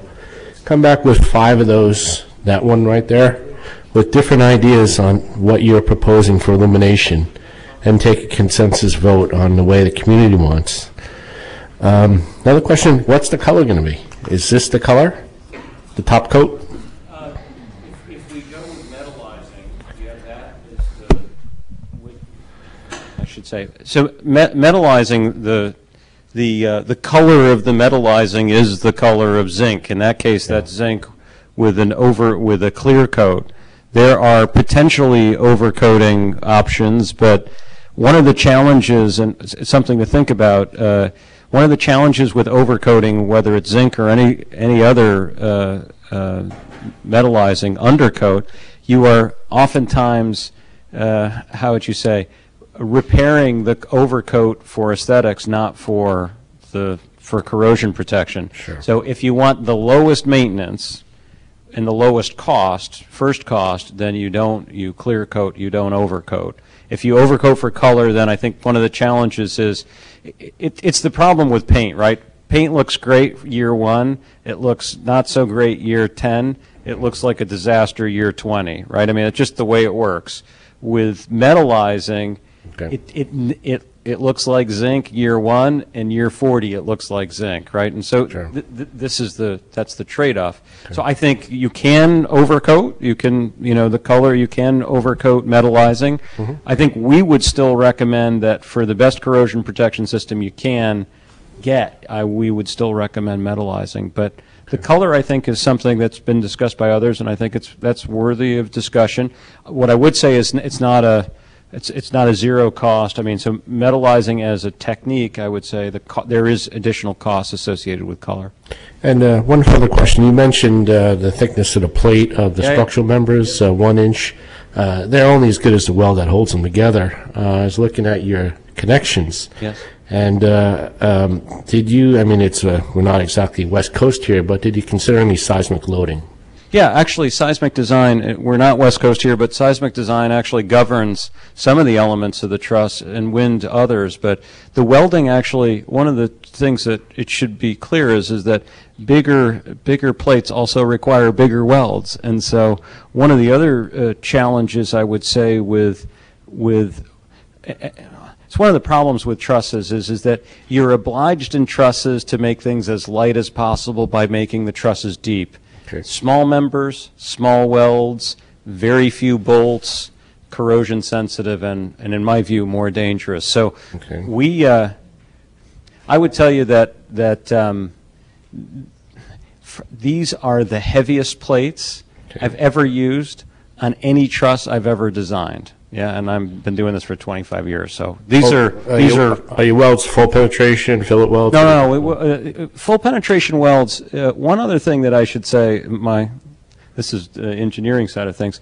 One of the problems with full penetration welds, especially when you're using curved members, curved plates, is is that the weld induces so much stress in the metal that you're connecting that more welding doesn't necessarily lead to safety. More welding can lead to things like hot cracking, where you're putting so much stress into the system that you're cracking the steel or cracking the weld just by. So we prefer, I would say, fillet welds, and fillet most of what's here is fillet welds. A f- a few full pen groove welds, but Okay. most is, is fillet welds. Okay, Yeah. thank you. Good questions, yeah. Uh, My name is Sean Rafferty, and I live on South Street in Portsmouth. And I, th- I think you, uh, one of you said earlier that the, I'm not sure what the term was, maybe the assemblage of some of this stuff would be a mile away or so from the, less than, the okay. Uh, Could you say where that was and what, what um, additional traffic and problems that simply that site may cause to the neighborhood around it? Our, our plan is to erect the three spans and the towers at the Pease facility, adjacent to the Sarah Long Bridge. The largest steel member that we'll be trucking in is, what, 65 feet, Ted? So the trucks will, will enter the Pease facility, and the spans will be built on barges and then floated into place from the Pease facility adjacent to Sarah Long. Okay, thank you. Yeah, I mean, right now, the, the design is such that, Uh, Right now, the design is such that there's, I don't think we have a single permit load. So we're actually using, uh, the way the pieces are, are put together, we're using normal trucks with no special permits, no special impacts. And that's really another way to, to make sure the job is cost effective. Just to show you visually the, the, the Pease Pier. I I know it's tough for some, of you can come up and look at it afterwards, but the Pease Pier is adjacent to the Sarah Long. There's a back facility here, and that's where we would, we would build the, spans and then float them into place from there. Hi, I'm Charlie LaFlame with the Bicycle Coalition of Maine, and um, I use this bridge fairly regularly. Um, And I'm a little concerned because it's the only crossing we have um, along the coast, and it's several miles um, inland we have to go if we don't use this bridge. And it's also the East Coast Greenway connection between Maine and New Hampshire and all the way down to Key West. So, um, I have some concerns in, in, um, the fact that, you know, it, a lot of people have mentioned that it would be a nice promenade if you had a, you know, a more, uh, make it more accessible to bicyclists. Um, and I think you've done a fairly good job given the constraints that you've got. Um, but I, I think it will be used even more than you think, um, even more than the 900 that you had a, as a count preliminarily.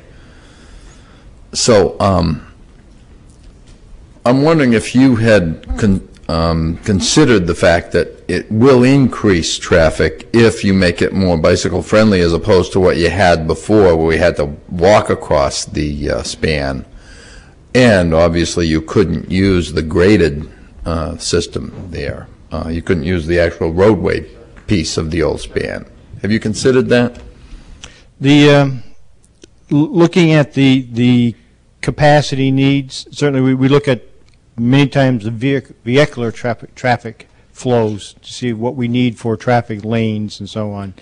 Certainly, there's a capacity on bicycles too. I mean, with, with a five-foot shoulder on both sides of the roadway, you're increasing two, two-way capacity for bicycles. Certainly, you, you, with the proposed design, it increases the capacity more than tenfolds than what we currently exist today. Uh, you have the ability to ride your bike across the bridge versus walk your bike across the bridge. You're not inter- interfering or uh, interjecting yourself with the pedestrian aspects of traffic flow. So you basically have a, a free flow area in order to basically tra- to go across the river. Um, so yeah, there is going to be a, a remarkable increase in ability to get across the structure using using bicycles as well as as walking. Um, the as with any construction project, there's always hardships to every facet of the transportation system, whether you're a vehicle, whether you're a pedestrian, whether you're a bicycle. This situation here, where we have to close a structure, there's going to be an impact. Now, is there ways that we can basically resolve all these impacts? No, there isn't. We're asking the community, work with us. We're going to try our best to try to accommodate what we possibly can afford and to meet the community's needs. But there may be times where people are going to have to take their own responsibilities in hand and understand that there's a, a, a hardship that's going to be imposed upon them. Right now, businesses are, have a hardship out there right now because of vehi- vehicle traffic not being able to go across the bridge. We understand that. They understand that. They also understand the need to get this project completed so that we can get back to back to the business of serving both communities for the full service of that bridge. So yes, there's going to be some some loss of use of the bridge. Certainly, we're asking the community to work with us. We don't have all the answers. We can't give you the 100% of, of a solution. There's going to be impacts either way. We, we just need you to work with us. Uh, we'll try our best. One thing I might, it's, it's something we, we never, we never talked about in our proposal, but it's actually something we thought about. Um, and one thing is, is that there's the sort of build it and they will come kind of thing. Now that you have bicyclists, if you have a lot of bicyclists, one thing that, that putting the truss on the outside gives us the opportunity to do is potentially sometime in the future would be to move the barrier to the inside five feet and to have really a 10-foot combined pedestrian bicycle way and, and with no shoulders. So it would really be changing the hierarchy of, let's say, vehicular access versus pedestrian bicycle. So that would give you two 10-foot sidewalk, you know, really combined pedestrian bicycle sidewalks in the future. That really is a possibility with a truss move to the outside. And so I think it's actually an advantage to this design with the trusses to the outside is that it really allows us the opportunity to take more bicycle way uh, if we need to sometime in the future. And the changes would not be significant. I mean, really, the structure is set up for that. So I'm a little confused. I mean, what you show here is, uh, there's a barrier there, right? Yeah, so the idea is the barrier, the idea is the barrier, right now we have a five-foot shoulder, which is the bicycle way, and a six-foot pedestrian way.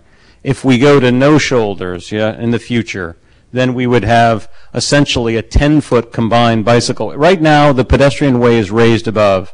It's about, and there's a curb, there's a, it's about 12 inches above.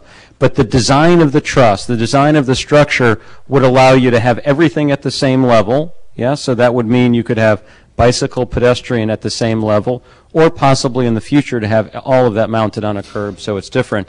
In, it's even possible, I would say, with this design, if you found that you did need a barrier in the future, that you would have no barrier and then a raised curb combined bicycle pedestrian way. I mean, that would be, I would tell you that that would be more consistent with a, a sort of the local streetscape, is, is that you don't have, right, it's just because of bridge that you have a, a crash barrier. The rest of the city, you don't have a crash barrier. It would really be that language of having no crash barrier, curb, and then quite a wide sidewalk. That could be accommodated into this design.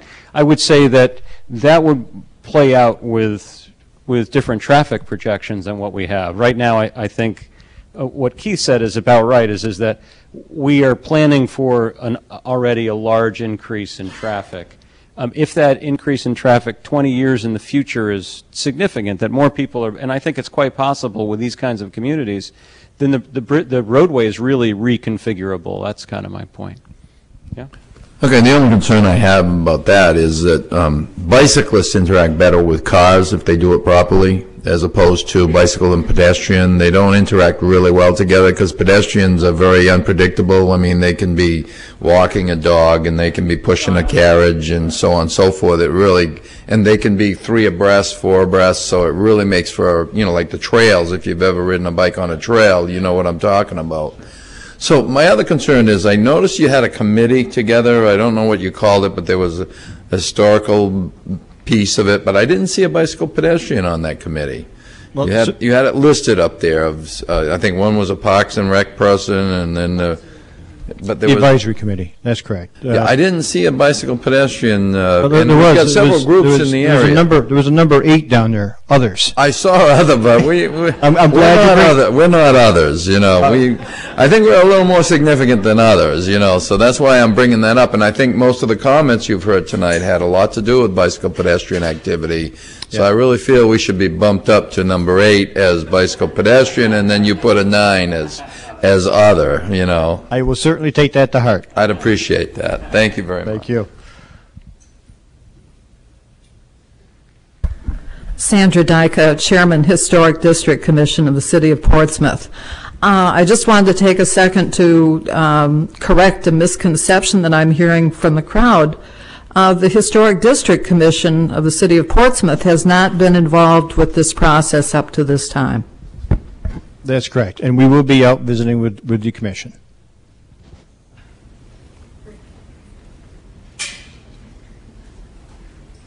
Debbie Jennings, Portsmouth resident. Um, I really think some illumination decorative would really improve the look of the bridge at night.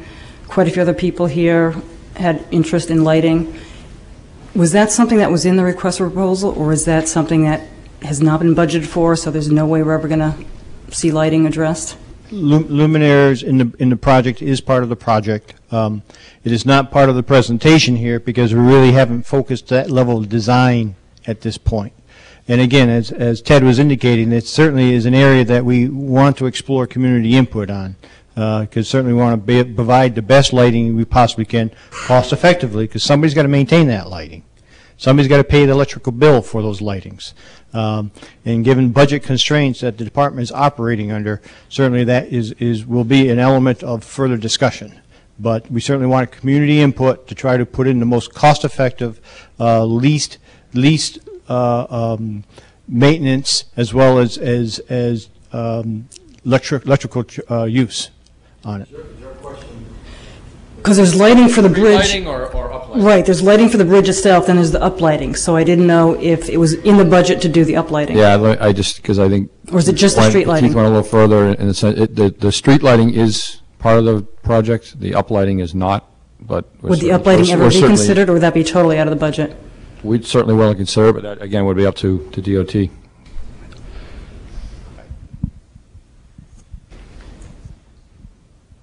Thank you. Mary Lou Portsmouth. Um, I've been uh, using this bridge for recreation, walking or biking for 12 years since I moved here, uh, several times a week. But just recently, I've started talking to people who cross it for transportation because they don't have cars, because they need to bike or walk across the bridge. So I would just stress that the plan for shuttle for intermediate or intermediary uh, transportation really be put in place as soon as possible so the people are informed as to how they can get back and forth to work. We do not have a good plan for workforce housing in this area, and I would hope that we have a good plan for workforce transportation during the next year and a half to two years, um, because these people will lose their jobs if they can't get there. Thank you. There's certainly other elements that we'd be looking at as part of the public outreach process, as well as working with the communities. Uh, We have a ride share program through our Bureau of Transit and Rail. Uh, Certainly, we'll be exploring the ride share capabilities with, with the employment opportunities in the area. Certainly, the shipyard is, is a big employment component.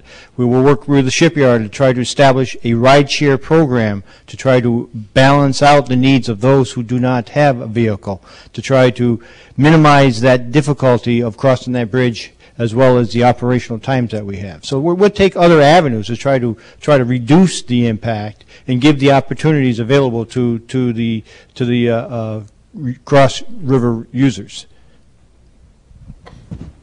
Anybody else? I know time's getting late. I really appreciate the input that was given to us this evening and, and the patience of the presentation and, and the uh, feedback. Uh, we will be back out to the community. Um, we are moving forward. Again, we're basically going with the, getting the governor and executive council award of the project, uh, and then we certainly will be interacting with, uh, to a higher order using the advisory committee, as well as the other committees in place to get further feedback. Thank you very much for coming out.